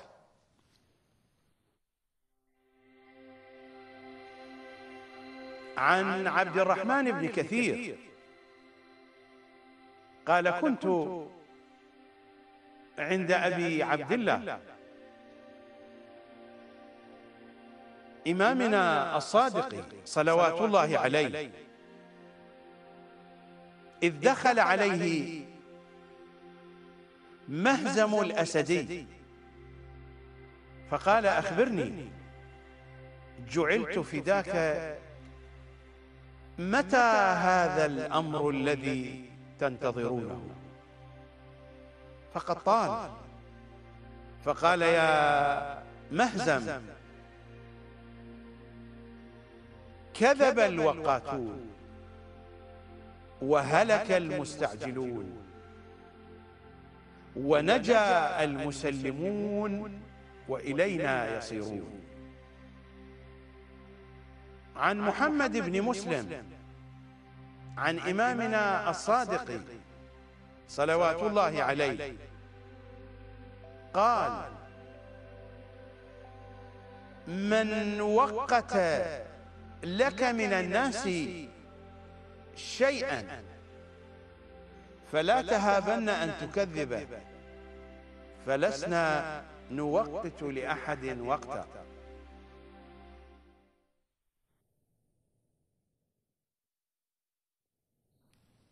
هكذا نقرأ في الزيارة وفي العبائر المتقدمة. وعندكم ما نزلت به رسله وهبطت به ملائكته. لماذا؟ لأننا في أول الزيارة ماذا سلمنا عليهم؟ السلام عليكم يا أهل بيت النبوة. وموضع الرسالة ومختلف الملائكة ومهبط الوحي ومعدن الرحمة وخزان العلم. ما نزل إلى الأنبياء وإلى الملائكة. خرج من خزائن الله وهؤلاء خزانها. خرج بأمرهم. ما هكذا سلمنا عليهم في أول الزيارة الشريفة. السلام عليكم يا أهل بيت النبوة وموضع الرسالة ومختلف الملائكة ومهبط الوحي ومعدن الرحمة وخزان العلم. وقد ورد التعبير عنهم من أنهم خزائن العلم ومن أنهم خزان العلم. فكل ما يرتبط بالعلم الإلهي راجع إليهم. أكان التعبير بالخزائن أم كان التعبير بالخزنة والخزان؟ هذا واضح في رواياتنا وأحاديثنا الشريفة. وعندكم ما نزلت به رسله. قبل قليل ماذا قرأت عليكم؟ وصدقتم من رسله من مضى. هذا في المقام البشري المقيد. جهة الأسوة بالنسبة لنا. أما في المقام البشري المطلق هم الخزان. الأمر بأيديهم. فليس هناك من قيود تقيدهم وليس هناك من سلطة للأسباب عليهم. ما فوقهم إلا الله.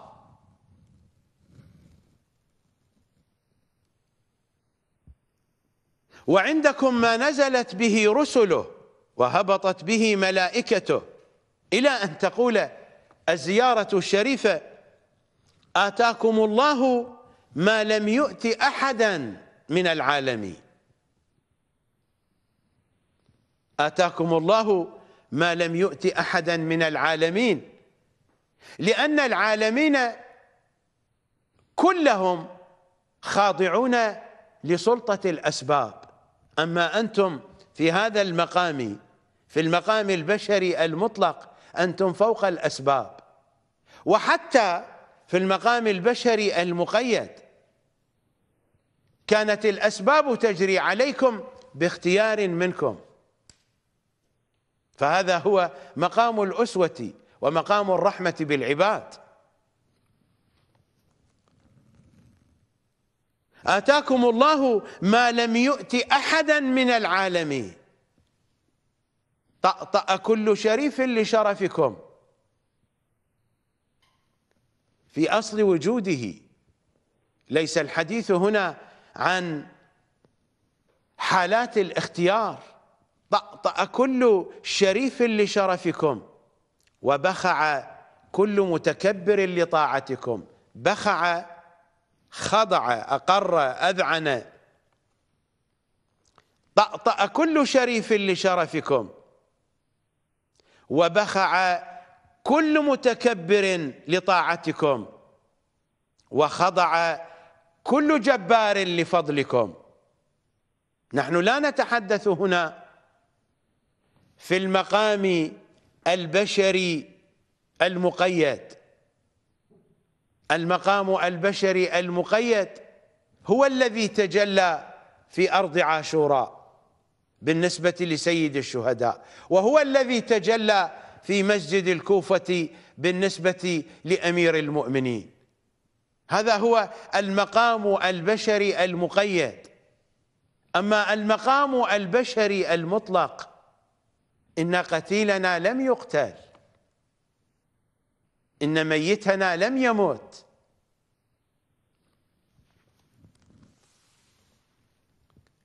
طأطأ كل شريف لشرفكم وبخع كل متكبر لطاعتكم وخضع كل جبار لفضلكم الكلام هنا في أصل وجودهم في أصل تكوينهم بقرينة ما جاء بعد كل هذه العبائر وذل كل شيء لكم. فالمقام هنا ليس في مقام الاختيار بالنسبة لهؤلاء للشريف وللمتكبر وللجبار. موقفهم هنا بملاحظة المقام البشري المطلق وذل كل شيء لكم وأشرقت الأرض بنوركم إلى آخر الزيارة الشريفة. أعتقد أن المعاني صارت واضحة إلى حد ما إلى حد ما. الإمام بما هو الإمام نحن لا نعرف كنهه. في الروايات عندنا من أن المؤمن لا يعرف كنهه. إذا كان المؤمن لا يعرف كنهه فهل يمكن أن نعرف كنه الإمام؟ المؤمن الشيعي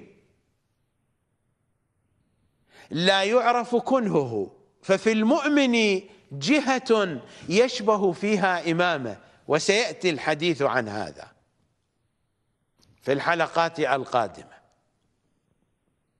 ففي المؤمن في الشيعي جهة يشبه فيها إمامة. هذه الجهة هي التي لا يدرك كنهها. المؤمن لا يعرف كنهه. فماذا نقول عن الإمام حينئذ؟ ما نحن قرأنا قبل قليل في الزيارة نفسها.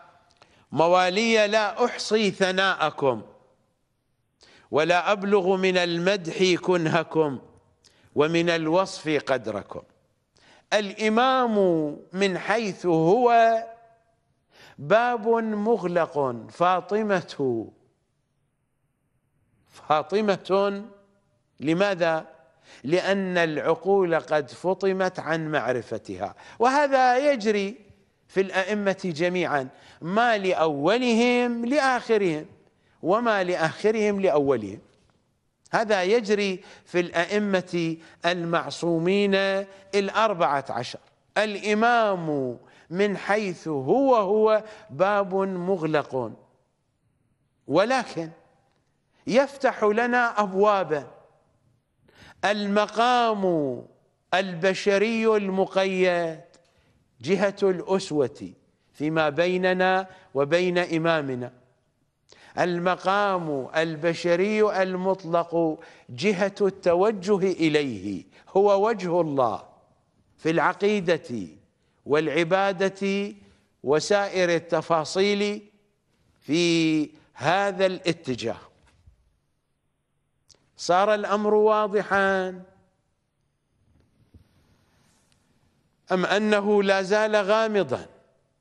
المطالب هذه عميقة ودقيقة.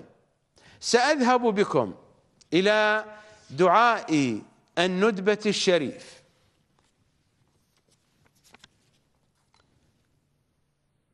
ثلاث جمل ثلاث عبائر. تختصر الحديث كله. وقد جاءت بالترتيب. دققوا النظر فيها. إنني أقرأ عليكم من مفاتيح الجنان. والدعاء الذي بين يدي دعاء الندبة الشريف. هذا الدعاء في كتب الأدعية معروف من أنه مروي عن إمامنا الصادق ومن أنه مروي أيضا عن إمام زماننا الحجة بن الحسن. صلوات الله عليهم جميعا. ماذا نقرأ في الدعاء الشريف؟ قطعان. هو دعاء ضعيف السند بالنسبة إلى مؤسسة التقزيم إلى حوزة التقصير إلى المراجع المرجئة. إلى الحوزة البترية. لا شأن لنا بهم فليذهبوا بحوزتهم ومنهجهم إلى الجحيم. ألا لعنة وبيلة على منهجهم الضال. أعود إلى دعاء الندبة الشريف. هذه العبائر تأتي متناسقة مترتبة متسقة متسلسلة. العبارة الأولى. أين باب الله الذي منه يؤتى؟ المقام البشري المقيد. هذا هو الباب الذي نتواصل معه. أين باب الله الذي منه يؤتى؟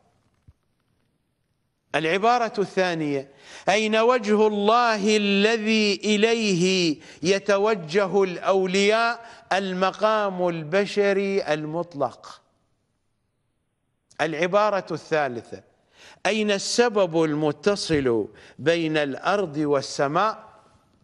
المقام الجامع. المقام الجامع بين المقامين. إنه المعصوم الحقيقة المغلقة.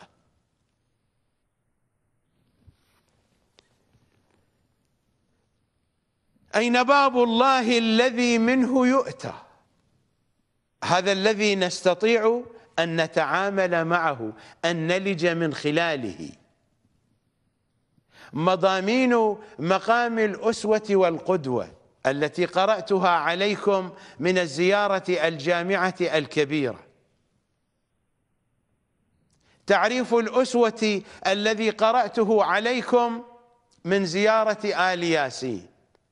حينما كنت أحدثكم في بداية البرنامج في بداية الحلقة. أين باب الله الذي منه يؤتى؟ المقام البشري المقيد. جهة الأسوة. أين وجه الله الذي إليه يتوجه الأولياء؟ المقام البشري المطلق جهة العقيدة والعبادة أين السبب المتصل بين الأرض والسماء؟ هذا هو المقام الجامع. هذا هو السبب الذي يعلو على الأسباب. مر علينا هناك أسباب بسبب وهناك أسباب من دون سبب. يا مسبب الأسباب بسبب ويا مسبب الأسباب من غير سبب. السبب الأعلى هو هذا. أين السبب المتصل بين الأرض والسماء؟ تلاحظون الترتيب واضحا وواضحا جدا. نذهب إلى فاصل.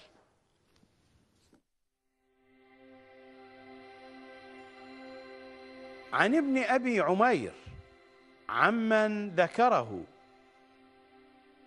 عن إمامنا الصادق صلوات الله عليه.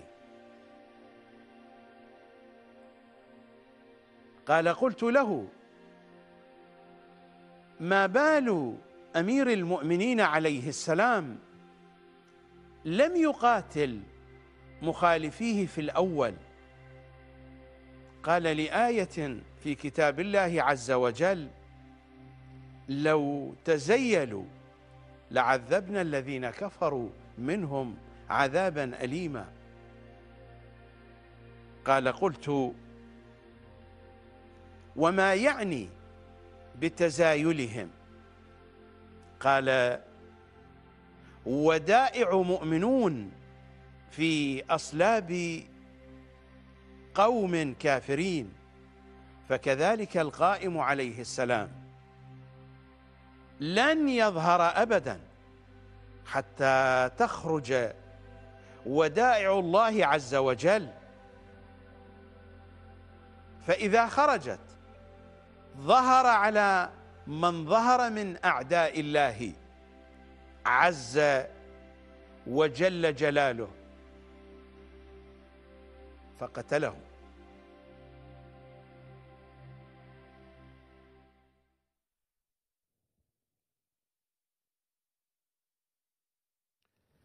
في دعاء شهر رجب المروي عن إمام زماننا صلوات الله وسلامه عليه وأنا أقرأ عليكم من مفاتيح الجنان. من الأدعية الرجبية التي تقرأ في كل يوم من أيام شهر رجب.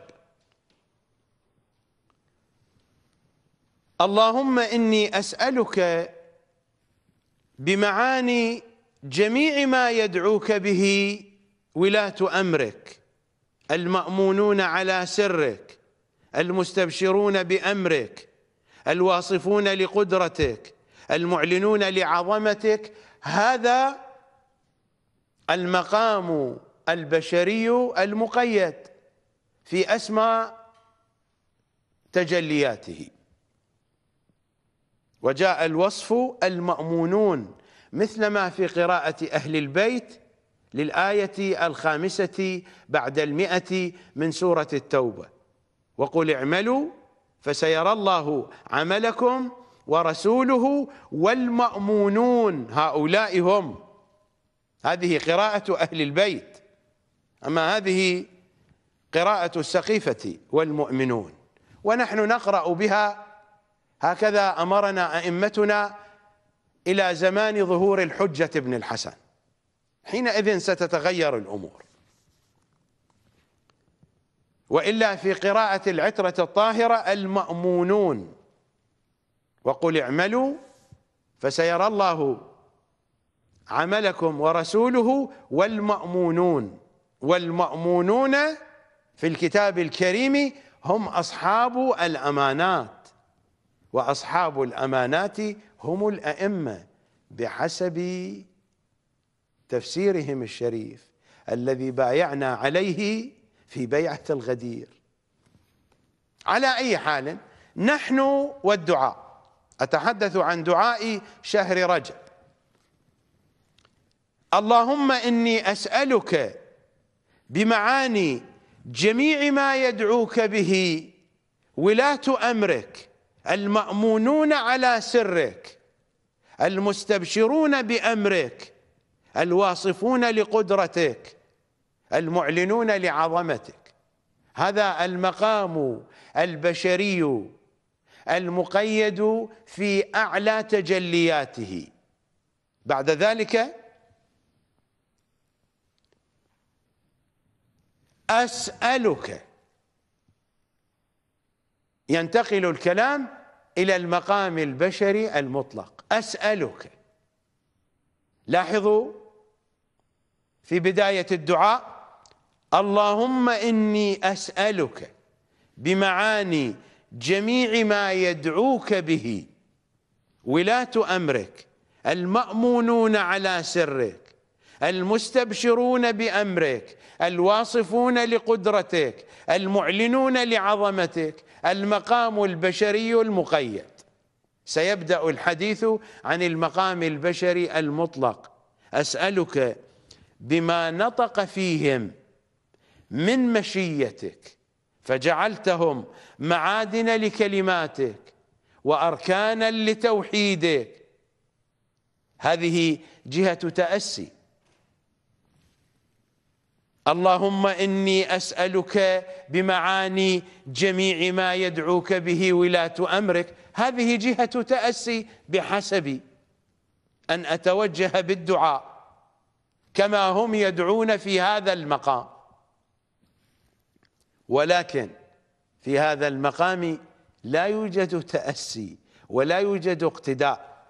أسألك بما نطق فيهم من مشيتك فجعلتهم معادن لكلماتك وأركانا لتوحيدك وآياتك ومقاماتك التي لا تعطيل لها في كل مكان. يعرفك بها من عرفك لا فرق بينك وبينها إلا أنهم عبادك وخلقك. هذه جهة المقام البشري المطلق. مر علينا فجعلتهم معادن لكلماتك وأركانا لتوحيدك وآياتك ومقاماتك. فالمقامات متعددة. ومن هنا جاءت القاعدة قاعدة حفظ المقامات. لا بد أن تحفظ هذه المقامات كل مقام بحدوده وخصائصه. قاعدة حفظ المقامات من هنا جاءت. من هذا الدعاء وأمثاله لا أتحدث عن هذا الدعاء بشكل خاص. فهذه المضامين منتشرة في الأدعية والزيارات منتشرة في الأحاديث والروايات منتشرة في القرآن كله من أوله إلى آخره في كل الآيات. أسألك بما نطق فيهم من مشيتك فجعلتهم معادن لكلماتك وأركانا لتوحيدك وآياتك ومقاماتك التي لا تعطيل لها في كل مكان يعرفك بها من عرفك. لا فرق بينك وبينها إلا أنهم عبادك وخلقك. الدعاء يستمر في تفاصيله فتارة يشير إلى المقام البشري المقيد وأخرى يشير إلى المقام البشري المطلق. لا فرق بينك وبينها إلا أنهم عبادك وخلقك فتقها ورتقها بيدك بدءها منك وعودها إليك. عاد الدعاء إلى المقام البشري المقيد. أعضاد وأشهاد ومنات وأذوات وحفظة ورواد. المقام البشري المقيد في أعلى رتبه. يعود الدعاء إلى المقام البشري المطلق فبهم ملأت سماءك وأرضك حتى ظهر أن لا إله إلا أنت. هذه هندسة أدعية أهل البيت وهذه الهندسة لن تدرك إلا بمعرفة معاريض كلامهم. إلا بمعرفة لحن قولهم. من دون إدراك أسرار هندسة الأدعية والزيارات لن يستطيع أحد أن يدرك أسرارها. أنا أتحدث عند شاطئ المعاني وحق الزهراء حتى أنني ما دخلت في شاطئ المعاني. إنني أتحدث بجانب شاطئ المعاني فأين أنا من بحرها العميق؟ كم بيني وبين تلك الأعماق؟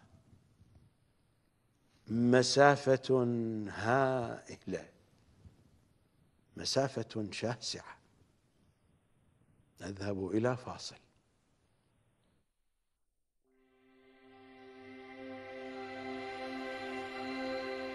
عن أبي حمزة الثمالي. قال قلت لأبي عبد الله الصادق. صلوات الله عليه. إن أبا جعفر عليه السلام كان يقول إن خروج السفياني من الأمر المحتوم. قال لي نعم.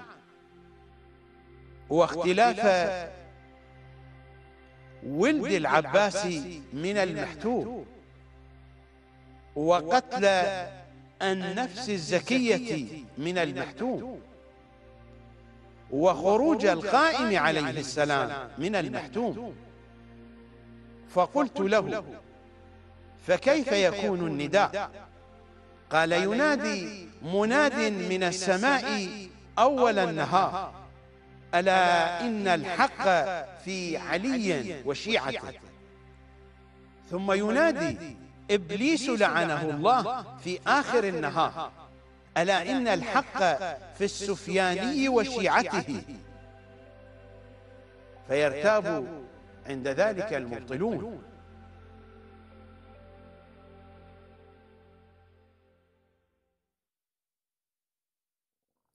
الكتاب الذي بين يدي بصائر الدرجات لشيخنا الصفار.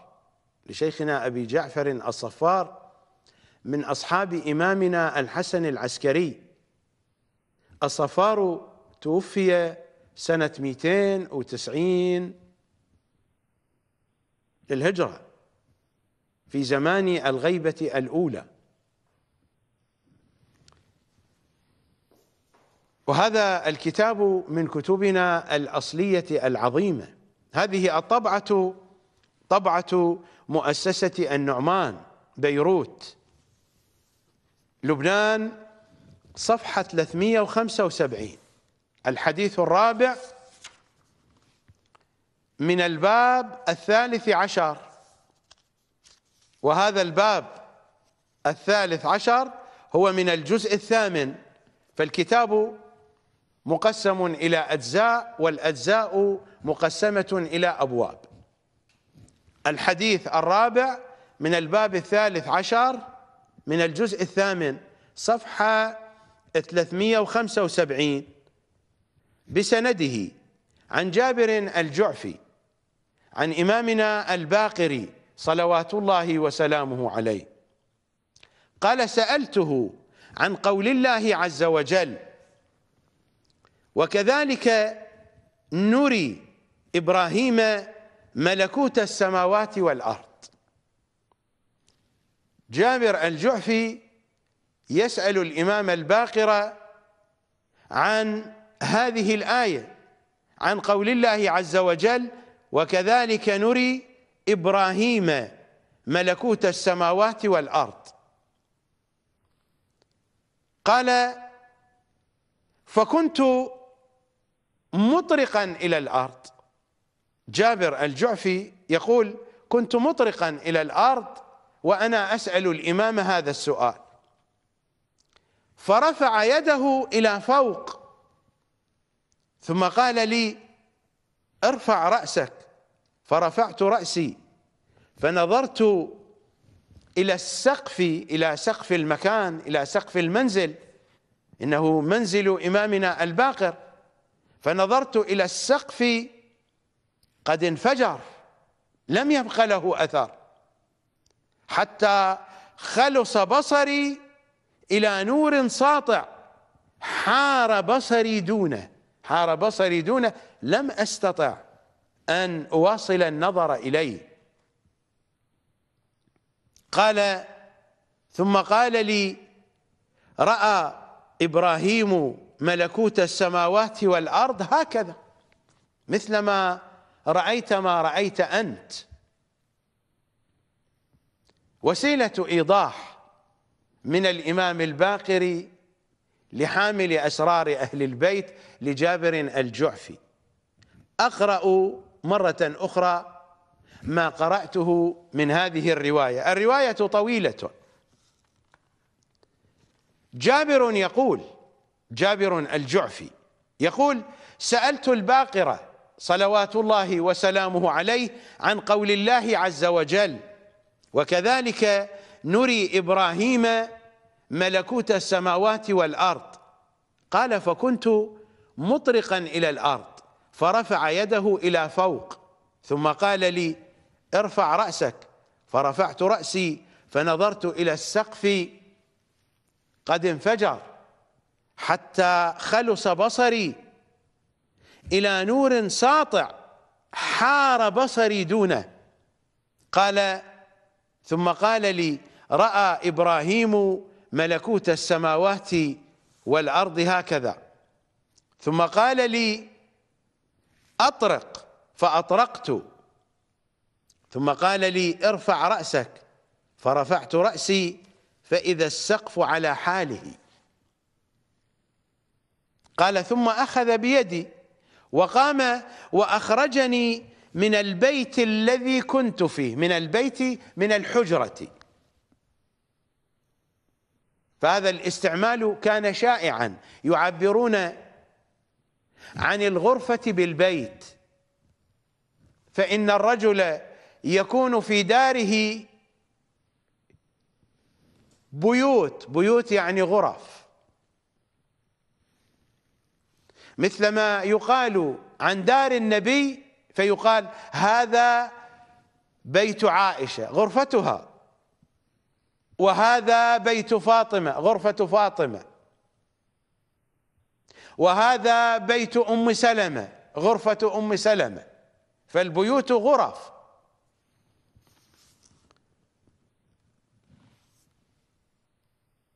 ثم أخذ بيدي وقام وأخرجني من البيت الذي كنت فيه وأدخلني بيتا آخر فخلع ثيابه التي كانت عليه.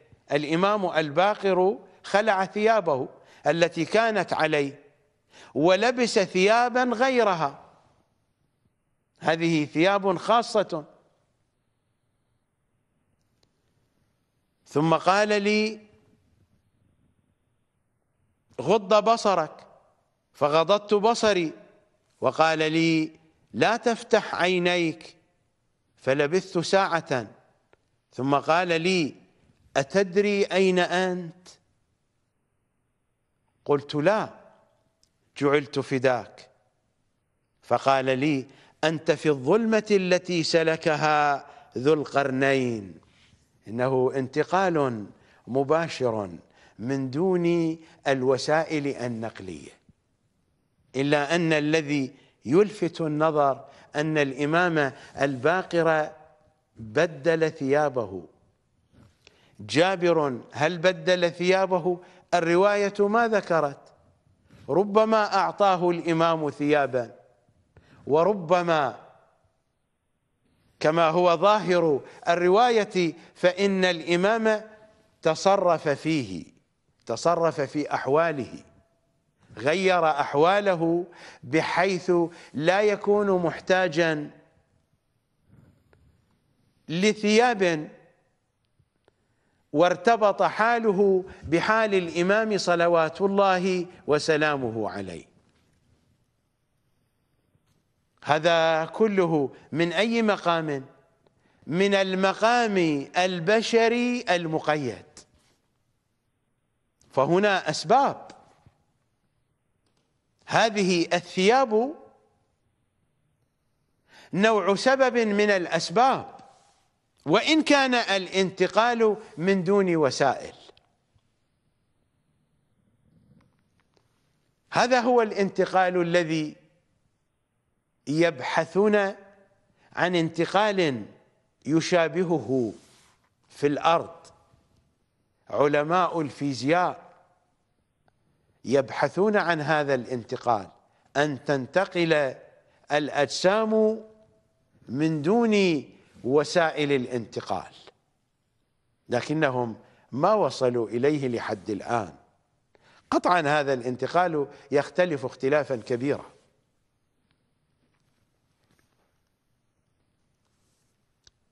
الطاقة هنا طاقة علوية. لا هي كهربائية ولا هي ضوئية ولا هي كهروطيسية كما يسمونها كهروضوئية ولا كهرومغناطيسية قولوا ما شئتم. هذه طاقة علوية. كنت مع الأنبياء باطنا. طاقة الأنبياء منه كنت مع رسول الله ظاهرا وهو مع الأئمة باطنا وظاهرا صلوات الله وسلامه عليهم أجمعين. مع رسول الله ظاهرا لأن باطن رسول الله علي وأنفسنا فهو معه ظاهرا وباطنا.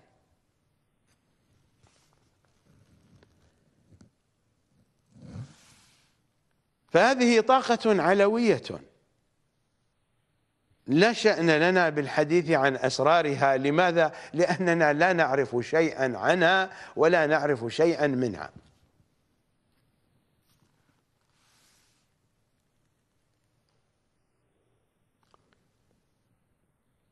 ثم أخذ بيدي.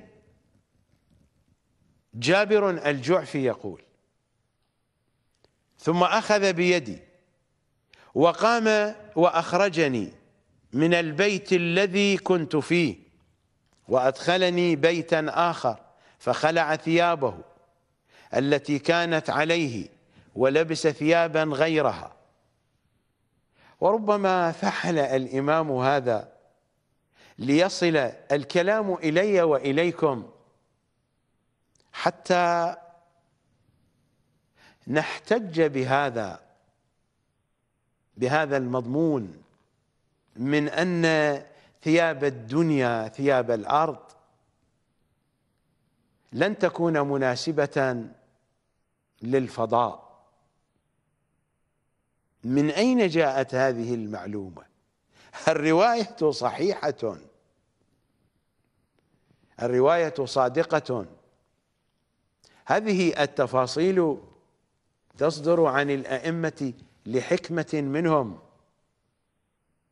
وإلا فإن الإمام ليس محتاجا لهذا.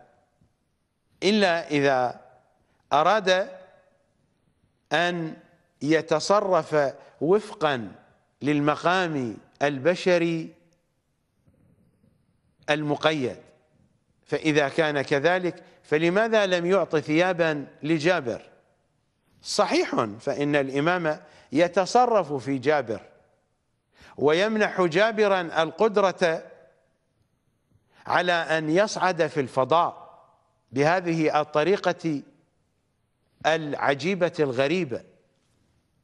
جابر يقول ثم أخذ بيدي وقام وأخرجني من البيت الذي كنت فيه وأدخلني بيتا آخر فخلع ثيابه التي كانت عليه ولبس ثيابا غيرها. ثم قال لي غض بصرك فغضضت بصري.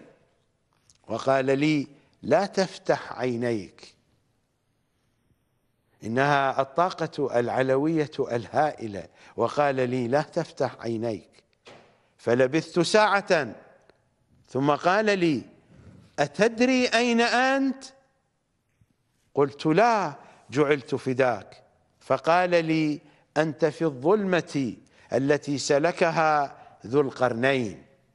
فذو القرنين من شيعتهم وجابر من شيعتهم كما أن الخضر من شيعتهم. الخضر خادم للحجة بن الحسن.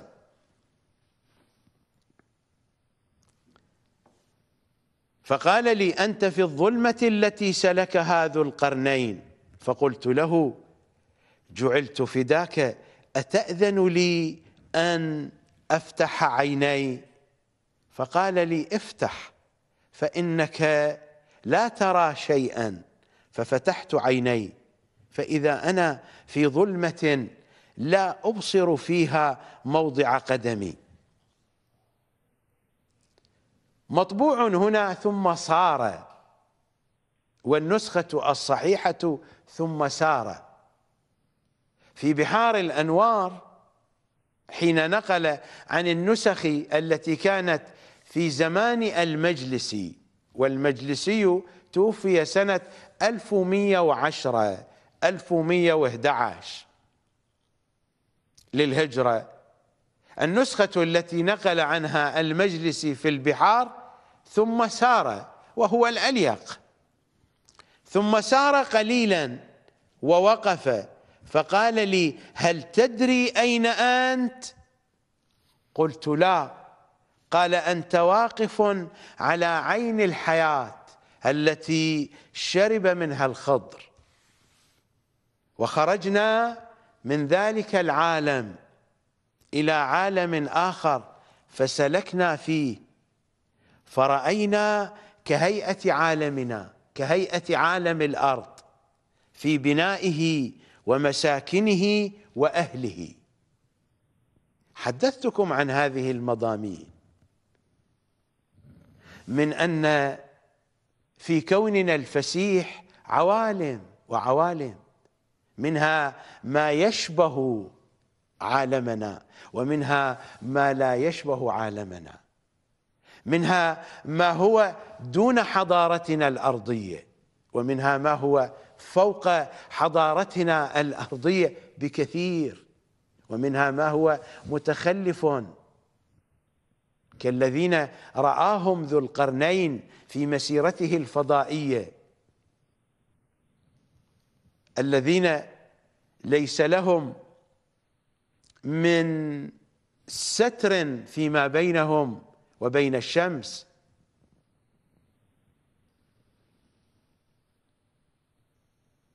الذين حبسهم في ردمه العظيم إنهم أقوام يأجوج ومأجوج. مر الحديث عن هذا لا أريد أن أكرره. الإمام سار في مسار ذي القرنين كي يعرف جابرا ما جرى في مسيرة ذي القرنين وكي تصل الحقائق إلينا كي ينقلها لنا جابر ولكنه ذهب به إلى جهات ما وصل إليها ذو القرنين.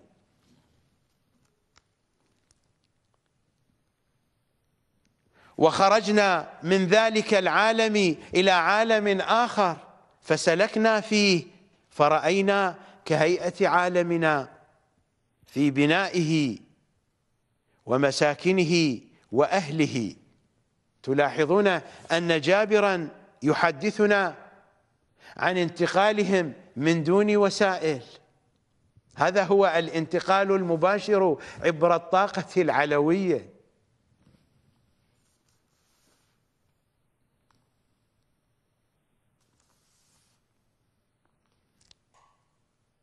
فرأينا كهيئة عالمنا في بنائه ومساكنه وأهله حتى في قطانه وسكانه. ثم خرجنا إلى عالم ثالث كهيئة الأول والثاني حتى وردنا خمسة عوالم. قال ثم قال قال إمامنا الباقر هذه ملكوت الأرض ولم يرها إبراهيم. إبراهيم حينما كشف له عن الملكوت كشف عن جانب من الملكوت. فهذا جزء من ملكوت الأرض لم يره إبراهيم. ثم قال هذه ملكوت الأرض ولم يرها إبراهيم. وإنما رأى ملكوت السماوات وهي اثنا عشر عالما. كل عالم كهيئة ما رأيت. كلما مضى منا إمام سكن أحد هذه العوالم حتى يكون آخرهم القائم في عالمنا الذي نحن ساكنوه. في عالمنا الذي نحن ساكنوه في العالم الأرضي. لماذا؟ لأن الأرض هي العاصمة. وأرض فيها الإمام هم يقولون إمام الأرضي. هذا ما هو كلامي. هذا كلامهم في أحاديثهم. وأرض فيها الإمام إمام الأرضي. تلاحظون قوة المنطق ودقة السبك وجودة النظام وجمال الاتساق. ما بين ما مر من آيات وروايات في الدولة السليمانية وما مر من آيات وروايات وحديث عن أمير المؤمنين. في شأن ذي القرنين. وما قرأت عليكم من رواية عن الرحلة الفضائية التي قادها أمير المؤمنين وحدثنا سلمان عنها وأخبرنا من أنهم قد رأوا الأرض حين عادوا إليها من بعيد كالدرهم. سلام على سلمان. سلام على جابر الجعفي. سلام على أولئك المخلصين المخلصين الذين أخلصوا لمحمد وآل محمد فكانوا حملة لأسرارهم وكانوا منجما لعلومهم وكانوا حملة لأحاديثهم. فمن حديث سلمان في الحلقة الماضية إلى حديث جابر. رضوان الله تعالى عليهم ولعنة على منهج حوزة النجف. لعنة على منهج المراجع المرجئة البترية. هذا الكتاب ضعيف عند هؤلاء الزفلة عند سفلة الشيعة. ضعيف وهذه الروايات ضعيفة الأسانيد. ألا لعنة على منهجهم الخبيث القذر. هكذا ضللوا أجدادنا وآباءنا. حوزة الطوسي منذ أن أسست سنة 448 وهي تبعد الشيعة عن محمد وآل محمد.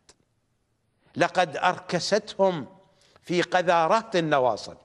وجاءتهم بعقائد الضلال بعقيدة الأشاعرة والمعتزلة بعقيدة أصول الدين الخمسة التي تناقض القرآن ويحكم القرآن بكفرها في الآية السابعة والستين بعد البسملة من سورة المائدة التي جعلت الإمام أصل الأصول جعلته أصلا واحدا للدين. ألا لعنة على علم الكلام الطوسي الحوزوي النجفي الخوئي السيستاني إلى سائر بقية المراجع من الأموات والأحياء ومن المراجع البترية القادمين بعد موت السيستاني. أعود إلى الرواية الشريفة الإمام الباقر يقول وإنما رأى إبراهيم ملكوت السماوات وهي إثنى عشر عالما. كل عالم كهيئة ما رأيت. كلما مضى منا إمام سكن أحد هذه العوالم حتى يكون آخرهم القائم في عالمنا الذي نحن ساكنوه قال ثم قال غض بصرك. فغضضت بصري. ثم أخذ بيدي. فإذا نحن بالبيت الذي خرجنا منه فنزع تلك الثياب ولبس الثياب التي كانت عليه. وعدنا إلى مجلسنا. فقلت جعلت فداك. كم مضى من النهار؟ قال الباقر ثلاث ساعات. الروايات وفيرة وكثيرة في هذه المضامين لكنني لا أجد وقتا لقراءتها. فماذا سأصنع لهذا الوقت؟ ووقت الحلقة صار طويلا صار طويلا.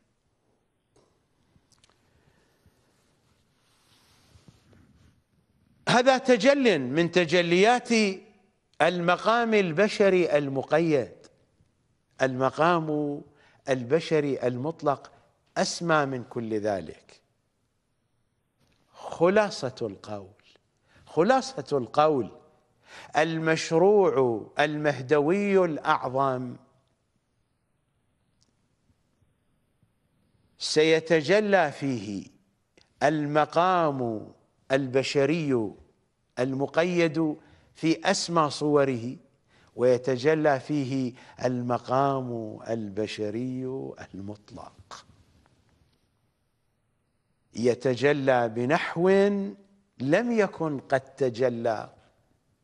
منذ زمان رسول الله وإلى زمان الظهور الشريف. هذه عظمة المشروع المهدوي. وهذا هو سر عنواننا. المشروع المهدوي ما بين التعظيم والتقزيم. لا زال الحديث متواصلا. ما استطعت أن أكمل حديثي. نلتقي غدا إن شاء الله تعالى على مودة القائم صلوات الله وسلامه عليه. وعلى مودة القيمة فاطمة إنها إمام القائم وأسوته. مثلما يقول إمامنا الحسن العسكري صلوات الله وسلامه عليه نحن إنهم الأئمة من المجتبى إلى القائم. نحن حجج الله على الخلق. وفاطمة أمنا من المجتبى إلى القائم حجة علينا. صلوات على فاطمة. يا زهراء أسألكم الدعاء جميعا. في أمان الله.